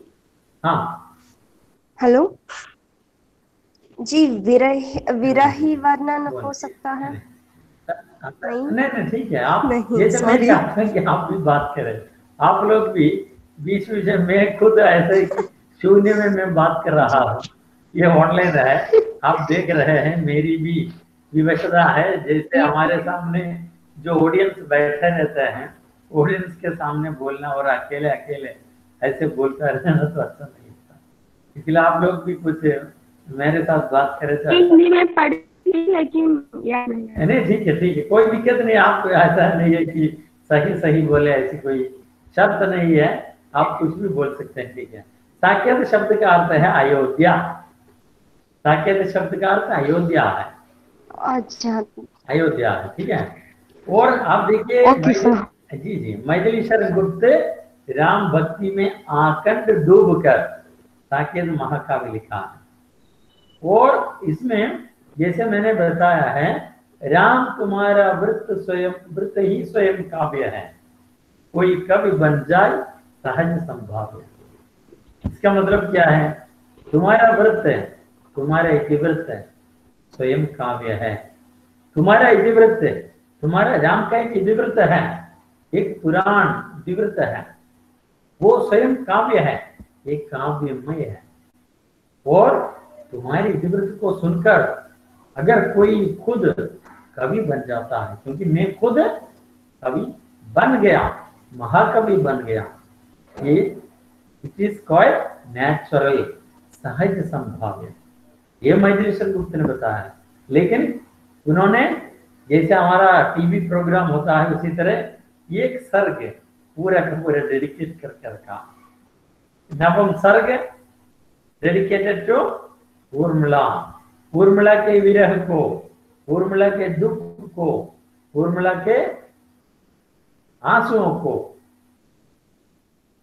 भाव भाषा वाणी देने का प्रयास मैथिली शरण ने किया ये उसकी खासियत है यानी जिस तरह पुराणों से हाशियकृत मार्जिनलाइज्ड सब आजकल लिटरेचर में ये बताते हैं कि सबाल्टन जो भी मार्जिनलाइज्ड है हाशियकृत है। परिधि पर जिनको धकेला गया जो मेन स्ट्रीम से वंचित है, उन्हीं की आवाज़ को voice of the voiceless voice of the voiceless Mahileshwar Gupt ने क्या किया है? वॉइस ऑफ़ दी वॉइसलेस बनने का प्रयास किया। और आप देखेंगे, जैसे मैं विस्तार से उस पर भी फिर जाऊँगा। अब देखिए, जैसे द्विवेद युग है, द्विवेद युग के बाद, लगभग 1900 से लेकर 1900 से लेकर 1918 तक का समय 1918 तक का समय द्विवेद युग का समय माना जाता है। खड़ी बोली का पल्लवन युग में होता खड़ी बोली पल्लवित होती है पुष्पित होती है, और खड़ी बोली का ही युग कह सकता है। और उसके बाद कौन सा युग आता है?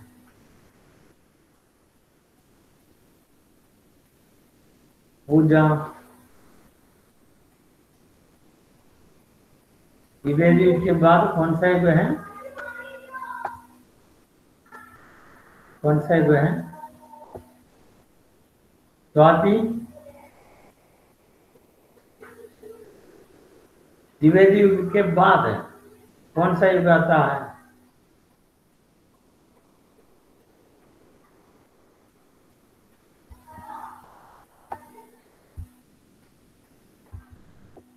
कोमला मूर्ति अभी अभी आई है कोमला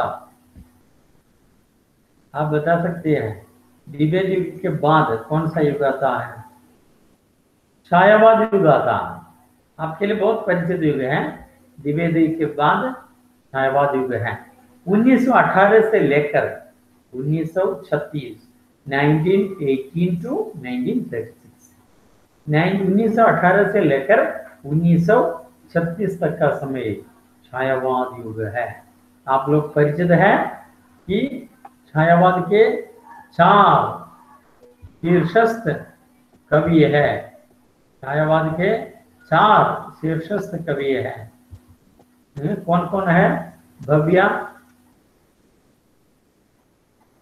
जी। छायावाद के शीर्षस्थ कवि कौन कौन है? छायावाद में हम्म, ठीक है। भव्या। दिनकर हाँ जी। हाँ बोलिए। महादेव छायावाद हाँ महादेव वर्मा ठीक है। फिर? जी और दिनकर भी दिनकर नहीं है दिनकर नहीं है ठीक है हाँ। आ, आप और हरवंश राय बच्चन भी थे सर। नहीं बच्चन नहीं है बच्चन नहीं है। अच्छा। भव्या बोलिए। फाइतली शरण जी। नहीं महिलेश्वर गुप्त द्विवेदी के कवि है। ठीक है। हाँ हाँ। अब देखिए जैसे छायावाद युग अपने आप में हिंदी साहित्य में आधुनिक हिंदी कविता में स्वर्ण युग माना जाता है। स्वर्ण युग माना जाता है। यानी इसके आप परिचित हैं भूल गए हैं। चार स्तंभ चार कवि बहुत मशहूर कवि हैं। बालाजी आप जानते हैं। प्रसाद है ना? हाँ जयशंकर प्रसाद। जयशंकर प्रसाद जी जयशंकर प्रसाद सूर्यकांत त्रिपाठी निराला, सुमित्रानंद पंत महादेवी वर्मा महादेवी वर्मा। महादेवी वर्मा बहुत बढ़िया। आपकी यादें अभी तरोताजा हो गई है। यादें तरोताजा हो गई है। मैथिल यानी मैथिलीशर गुप्त सब उसके पहले के कवि हैं। लेकिन छायावाद के जो एक प्रकार से हम जिन पर छाप मोहर लगाया है वो मैथिलीशर गुप्त नहीं है। जयशंकर प्रसाद सूर्यकांत त्रिपाठी निराला सुमित्रानंद पंत और महादेवी वर्मा। ये चार। शीर्षस्थ कवि हैं। हैं? हाँ एक मिनट एक मिनट है।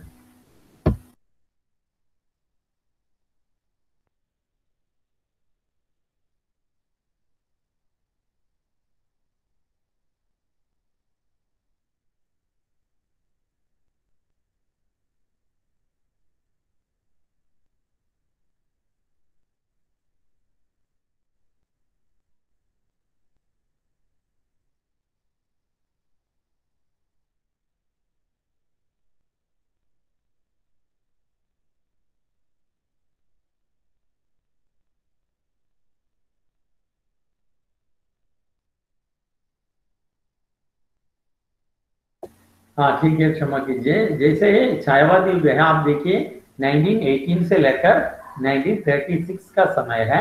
लेकिन आप जानते हैं 1918 में छायावाद का पहला काव्य संकलन प्रकाशित हुआ था। इसका नाम है झरना।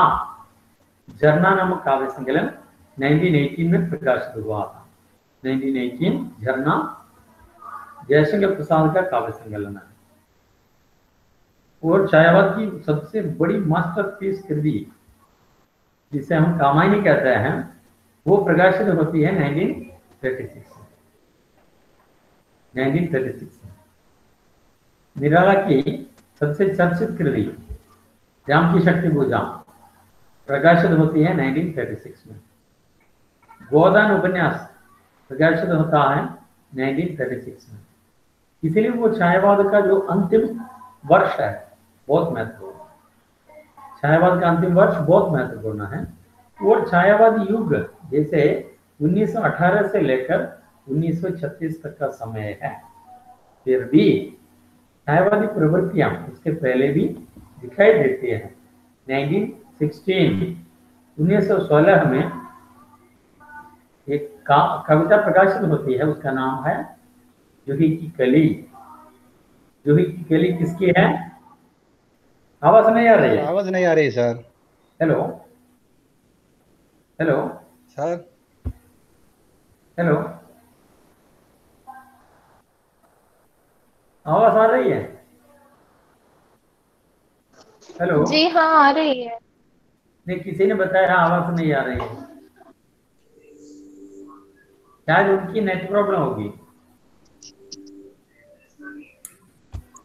हाँ हमें सुनाई दे रहा है। अच्छा ठीक है ठीक है। अभी देखिए मैं जो बता रहा था 1918 से लेकर 1936 का समय छायावादी युग है। इसमें हमारे लिए पढ़ने के लिए निराला की कविताएँ प्रसाद की कविताएँ है। और आपको याद हाँ जी बोलिए। से कब तक जी? छायावाद? हाँ 1918 से। 1918 से लेकर 1936 थर्टी सिक्स ठीक है जी। ठीक है। और आप देखेंगे, लेकिन निराला की बहुत चर्चित कविता, जूही की कली, प्रकाशित होती है 1916 1916 में। ठीक है? 1916 में निराला की बहुत चर्चित कविता प्रकाशित होती है। और आप देखेंगे कि ये जो हिंदी कविता की जो विकास यात्रा में बता रहा था, बहुत संक्षेप में, कि उसके बाद 1936 से प्रगतिवाद का प्रारंभ होता है प्रगतिवाद का प्रारंभ होता है। प्रगतिशील लेखक संघ प्रोग्रेसिव राइटर्स एसोसिएशन प्रगतिशील लेखक संघ की स्थापना होती है और प्रगतिशील लेखक संघ का प्रथम अधिवेशन लखनऊ में होता है 1936 में। उसकी अध्यक्षता की है प्रेमचंद ने। प्रेमचंद ने। प्रेमचंद ने उसी में बताया है, साहित्य राजनीति के पीछे चलने वाले सच्चाई नहीं है, वो उसके आगे मशाल दिखाने वाली सच्चाई यानी प्रेमचंद का जो दृष्टिकोण है, लेकिन प्रगतिशील लेखक संघ की स्थापना के साथ हिंदी में प्रगतिवाद नामक काव्य धारा प्रारंभ होती है। मार्क्सवादी दर्शनों के आधार पर शुरू हुई एक काव्य धारा है, जिसका हिंदी में 1936 से लेकर 1943 तक। 1943 तक का समय। 1943 तक कौन सा युग है? कौन सा आंदोलन चलता है?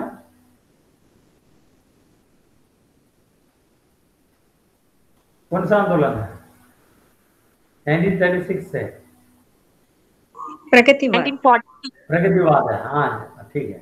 प्रगतिवादी आंदोलन है और प्रगतिवाद का समय 1943 तक। 1943 आप देखेंगे 1943 में हिंदी में एक बहुत बड़ी घटना होती है, बहुत बड़ी घटना होती है। उसका नाम है, क्या नाम है? तार सप्तक तार सप्तक नामक काव्य संकलन प्रकाशित होता है। इसका संपादन किया है, किसने किया है? अज्ञे। सच्चिदानंद हीरानंद वात्स्यायन अज्ञे अज्ञे ने 1943 में तार सप्ताह का संपादन किया है और इसके साथ हिंदी कविता में एक नई धारा जुड़ जाती है। उसका नाम है प्रयोगवादी काव्य धारा प्रयोगवादी काव्य धारा सप्तक परंपरा में जैसे आपके लिए कभी कभी नेट परीक्षा के लिए भी प्रश्न आएगा, नेट परीक्षा में तार सप्ताह का प्रकाशन कब हुआ? कब हुआ?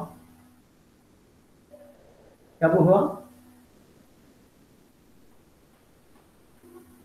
तार सप्ताह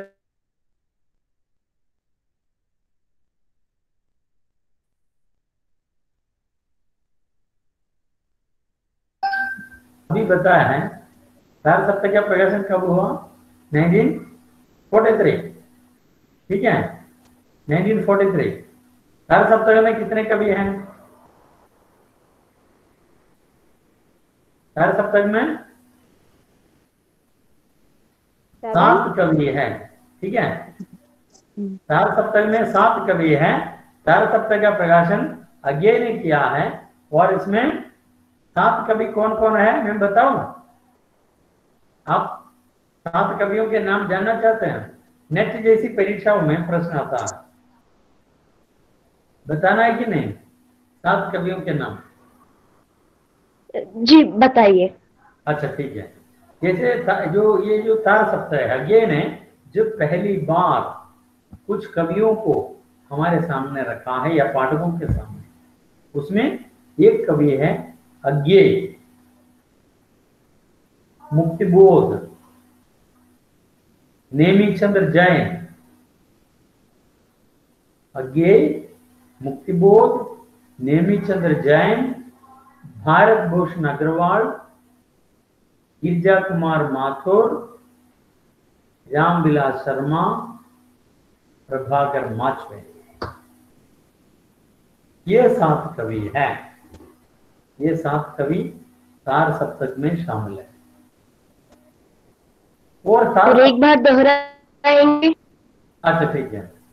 अज्ञेय मुक्तिबोध अज्ञेय मुक्तिबोध नेमी चंद्र जैन भारत भूषण अग्रवाल गिरिजा कुमार माथुर रामविलास शर्मा प्रभाकर माचवे। ठीक है? क्लियर है? Yes sir it's clear sir thank you sir ठीक है। और तार सप्तक अज्ञे का एक अभी अज्ञे की अपने आप में एक मौलिक उद्भावना है। अज्ञे ने तार सप्तक प्रकाशित किया उसी के साथ हिंदी साहित्य में। प्रयोगवाद प्रयोगवाद एक्सपेरिमेंट पोएट्री एक्सपेरिमेंट पोएट्री का प्रारंभ होता है। प्रयोगवाद 1943 से लेकर कभी कभी प्रश्न आता है यूजीसी नेट परीक्षा में। नेट परीक्षा में नेट परीक्षा में प्रश्न आता है, तार सप्तक का प्रकाशन कब हुआ? कौन कवि तार सप्तक में शामिल नहीं है? इस तरह का प्रश्न आता है। यूजीसी की लेक्चरशिप परीक्षा में। और दूसरा आप देखिए, तार सप्तक के बाद दूसरा सप्तक। दूसरा सप्तक प्रकाशित होता है। दूसरा सप्तक कब प्रकाशित होता है? 1951 1951 में दूसरा सप्तक प्रकाशित होता है। दूसरा सप्तक का संपादन किया है गेल अगे ने दूसरा सप्तक का संपादन किया लेकिन एक विषय, यानी आगे जो भी जिन जिन कवियों को इंट्रोड्यूस किया है, ये पहली बार काव्य क्षेत्र में आ रहा है। जैसे आपने देखा मुक्तिबोध को ये ने इंट्रोड्यूस किया है, कि वो जैसे हिंदी के बहुत यशस्वी कवि हैं। और दूसरा सप्ताह 1951 में प्रकाशित होता है, और उसमें भी सात कवि हैं। उसमें भी सात कवि हैं। और 1951 में जब ये प्रकाशित होता है, उसके बाद हिंदी कविता की प्रवृत्ति में थोड़ी सी एक बदलाव आ जाते हैं। मतलब हिंदी कविता नई कविता नाम से जानने प्रयोगवाद, क्योंकि प्रयोगवाद और नई कविता आपस में मिली जुली प्रवृत्ति है। और 1951 के बाद ये प्रयोग नई कविता की प्रवृत्ति आ जाती है। और दूसरा सप्ताह के प्रकाशन के बाद, और खुद अगेन ने ही नई कविता शब्द को अनाउंस किया था 1952 में। एक आकाशवाणी पटना पटना रेडियो में, आकाशवाणी के एक टॉक में, एक वार्ता में अगे ने बताया है कि अब प्रयोगवाद का समय नहीं है? अब नई कविता का समय आ। और आप देखेंगे इस तरह, प्रयोगवाद नई कविता के रूप में बदल रहा है। और आप देखेंगे के बाद दूसरा सप्ताह के बाद, तीसरा सप्ताह तीसरा सप्ताह प्रकाशन होता है। 1959 1959 में तीसरा सप्ताह प्रकाशन होता है। उसका भी संपादन किया है खुद अगे अगे ने 59 में तीसरा सप्तक संपादित किया और उसके 20 साल बाद, उसमें भी साथ कवि रहे हैं। 20 साल के बाद चौथा सप्तक चौथा सप्तक प्रकाशन होता है और चौथा सप्तक का संपादन भी अजय ने किया है और उसमें भी सात कवि रहे हैं। तब तक आप देखेंगे जब सेवेंटी नाइन आ जाता है। ये सब एक ही प्रवृत्ति को लेकर चलने वाले कवि हैं। लेकिन इन सब के बावजूद भी आप देखेंगे, उस समय एक प्रकार से समकालीन कविता यानी साठ के बाद साठोत्तरी कविता नामक प्रवृत्ति रही है। धूमिल जैसे कवि का नाम आपने सुना होगा।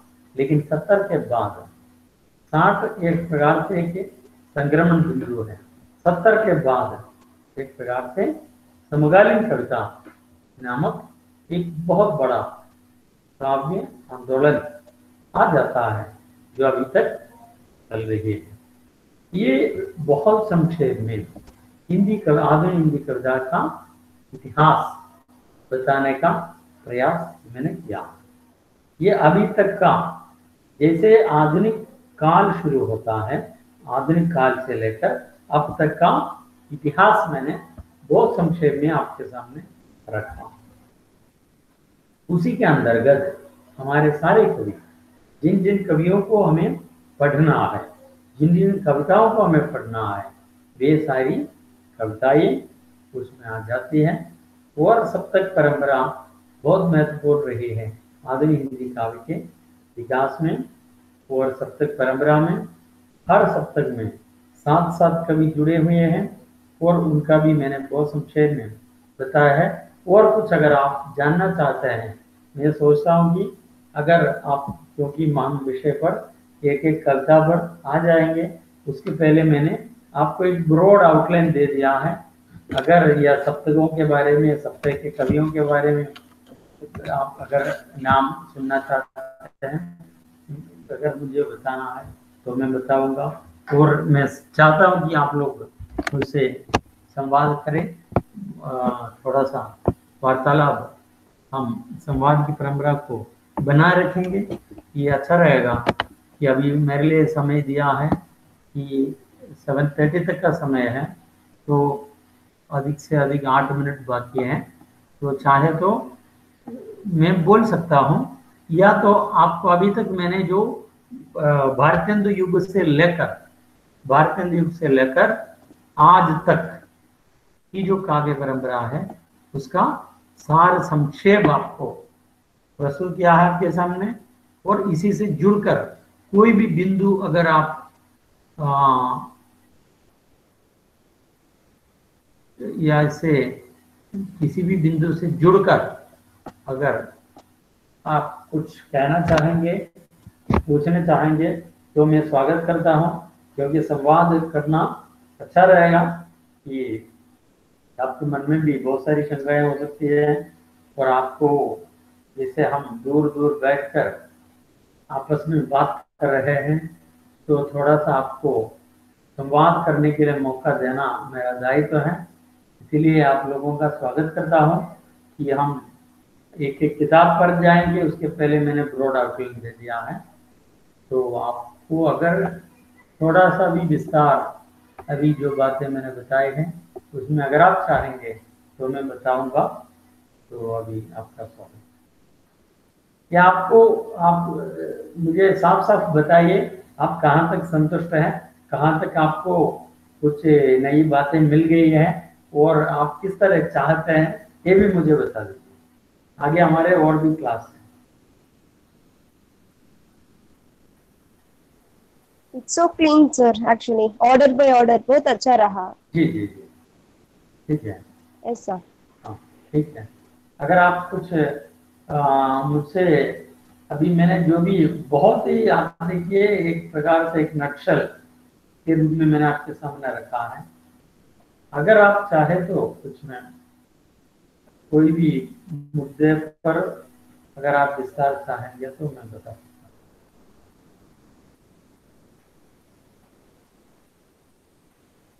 आप लोग भी कुछ बोले तो भी ठीक है, चलेगा। आपके लिए ये मौका है बोलने के लिए। दूसरा, आपको ऐसे ही बोलने का मौका नहीं मिलता है। इसीलिए ये भी ऐसा मौका मान लीजिए ये आपका क्लास है, मेरा क्लास नहीं है।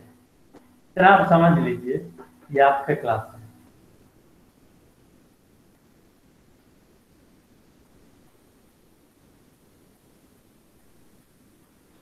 No sir it's clear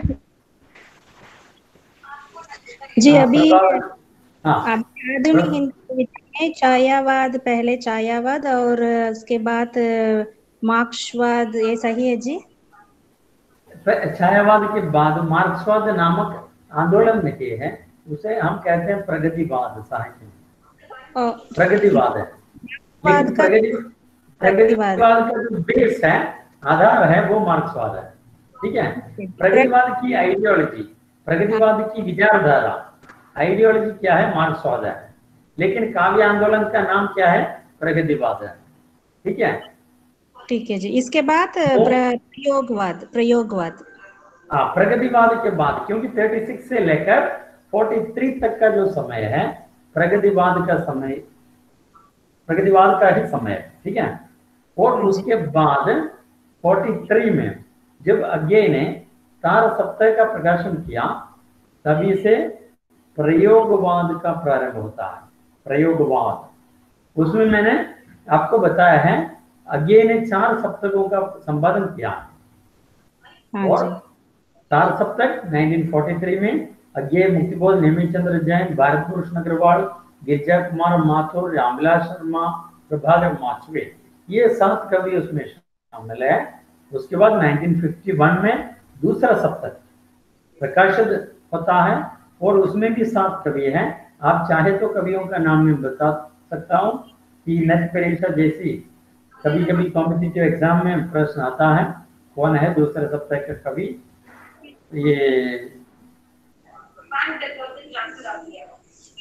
okay जी धन्यवाद जी। इसके बाद रहस्यवाद और आलावाद ये ये सही है जी?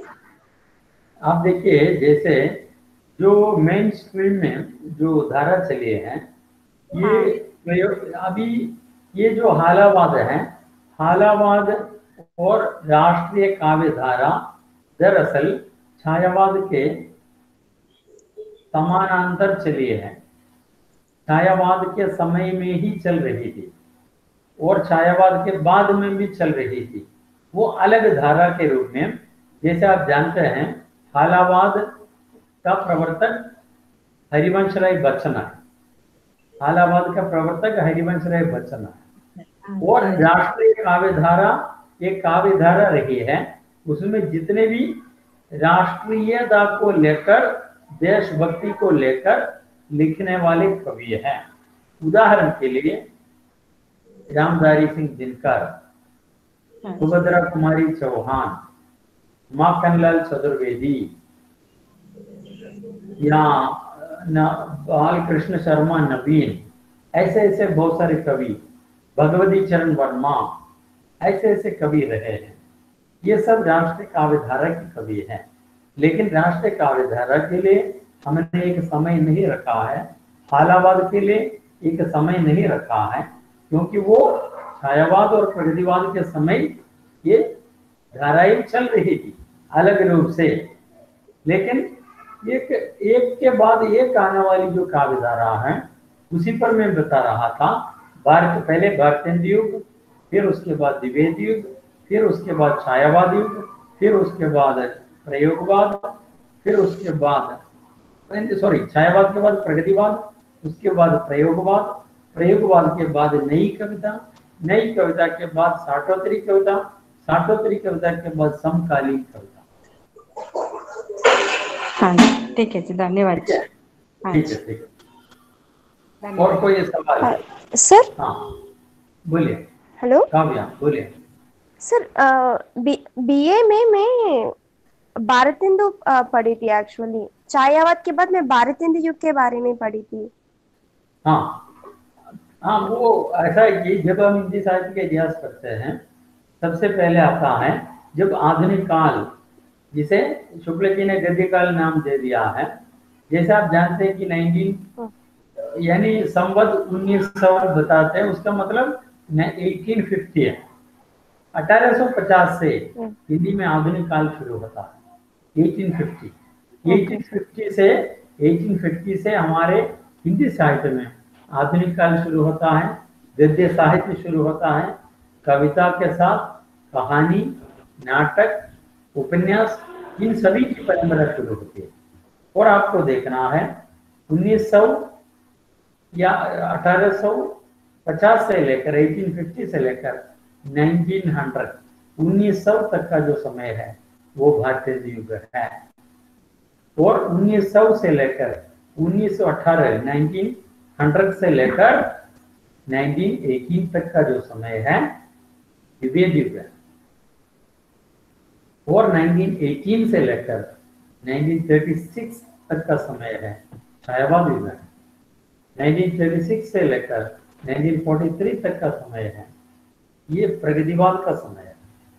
1943 से लेकर 1951 तक का जो समय है, प्रयोगवाद का समय है और 1952 से लेकर या 51 के बाद से लेकर लगभग 1960 1960 तक का समय, नई कविता का समय रहा। और 60 के बाद 70 तक का जो समय है साठोत्तरी कविता का समय रहा। और 70 के बाद हम बताते हैं कि समकालीन कविता का समय और समकालीन कविता का मतलब ये नहीं है, आज जो कविता लिखी जा रही है, सिर्फ़ वो लेकिन 1970 से लेकर अब तक की कविता को हम समकालीन कविता नाम से ही पुकारते हैं। मुझे लगता है कि आपको जो हमारा, जो मेजर आइडिया है, वो आपके पास आया है, वो साफ़ हुआ होगा। ये मेरी धारणा है। और अगर आप किसी जो कॉमन मतलब जो आइडिया है, युगों के बारे में, आधुनिक कविता के, विभिन्न युगों के बारे में, मैंने बताया है हालावाद और राष्ट्रीय काव्यधारा दो प्रवृत्तियाँ रही है, वो समानांतर चली है।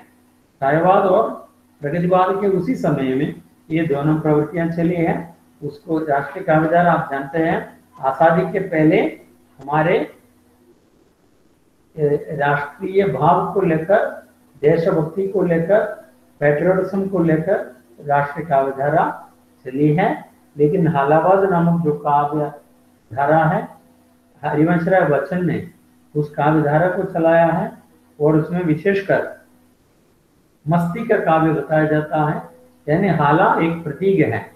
जब कोई शराब पीता है, जब कोई हाला पीता है, सब कुछ भूल जाता है। और मधुशाला में किसी प्रकार का भेदभाव नहीं है। मधुशाला में भेदभाव, मधुशाला में सब पियकड़ है, सब पीने वाले हैं। और पीने, उधर कोई अमीर है, गरीब है, कुछ नहीं देखा जाता। और कोई दुख नहीं है, कोई संतोष, यानी खुशी नहीं है। सभी से परे एक दुनिया का निर्माण होता है। उसमें किसी प्रकार का जाति, धर्म, भेदभाव, अमीर, गरीब ऊंच नीच या उच्च जाति निम्न जाति किसी प्रकार का भेदभाव। इसीलिए हालावाद नामक जो कॉन्सेप्ट है, बहुत बड़ा कॉन्सेप्ट है, उस पर हमारा बिल्कुल अध्ययन कम होता जाता है हमेशा, क्योंकि हमारे सिलेबस में अलाहाबाद की कविताएँ कम रखी जाती है। लेकिन एक प्रकार से आशा की, उम्मीद की, होप की कविता अलाहाबाद की कविता। ठीक है? और मित्रों, आप बताइए कुछ, अगर मैं आगे कुछ बोलूँ, या अभी हमें समाप्त करना है, या अगर आपको कुछ पूछना है तो अभी मैं तैयार हूँ। आपका जो भी प्रश्न है, आपके सवालों का, आपकी शंकाओं का निवारण करना मैं चाहता हूँ।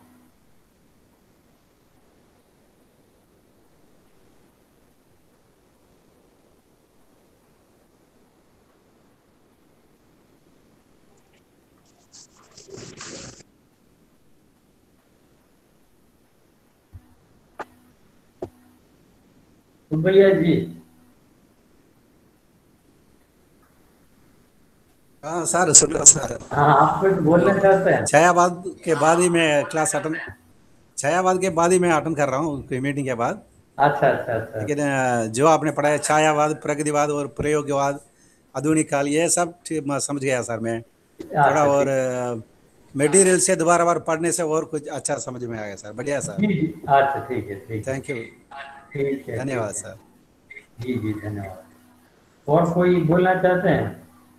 ये क्या है राज जी? धन्यवाद जी। आ, हमारा दूसरा कक्षा में हमारा क्या विवाद है मैं आ, हाँ। क्या है जी कल क्लास में इसके आ, किसके बारे में हमारा विचार हाँ कल इसी कविता के क्लास में। हाँ।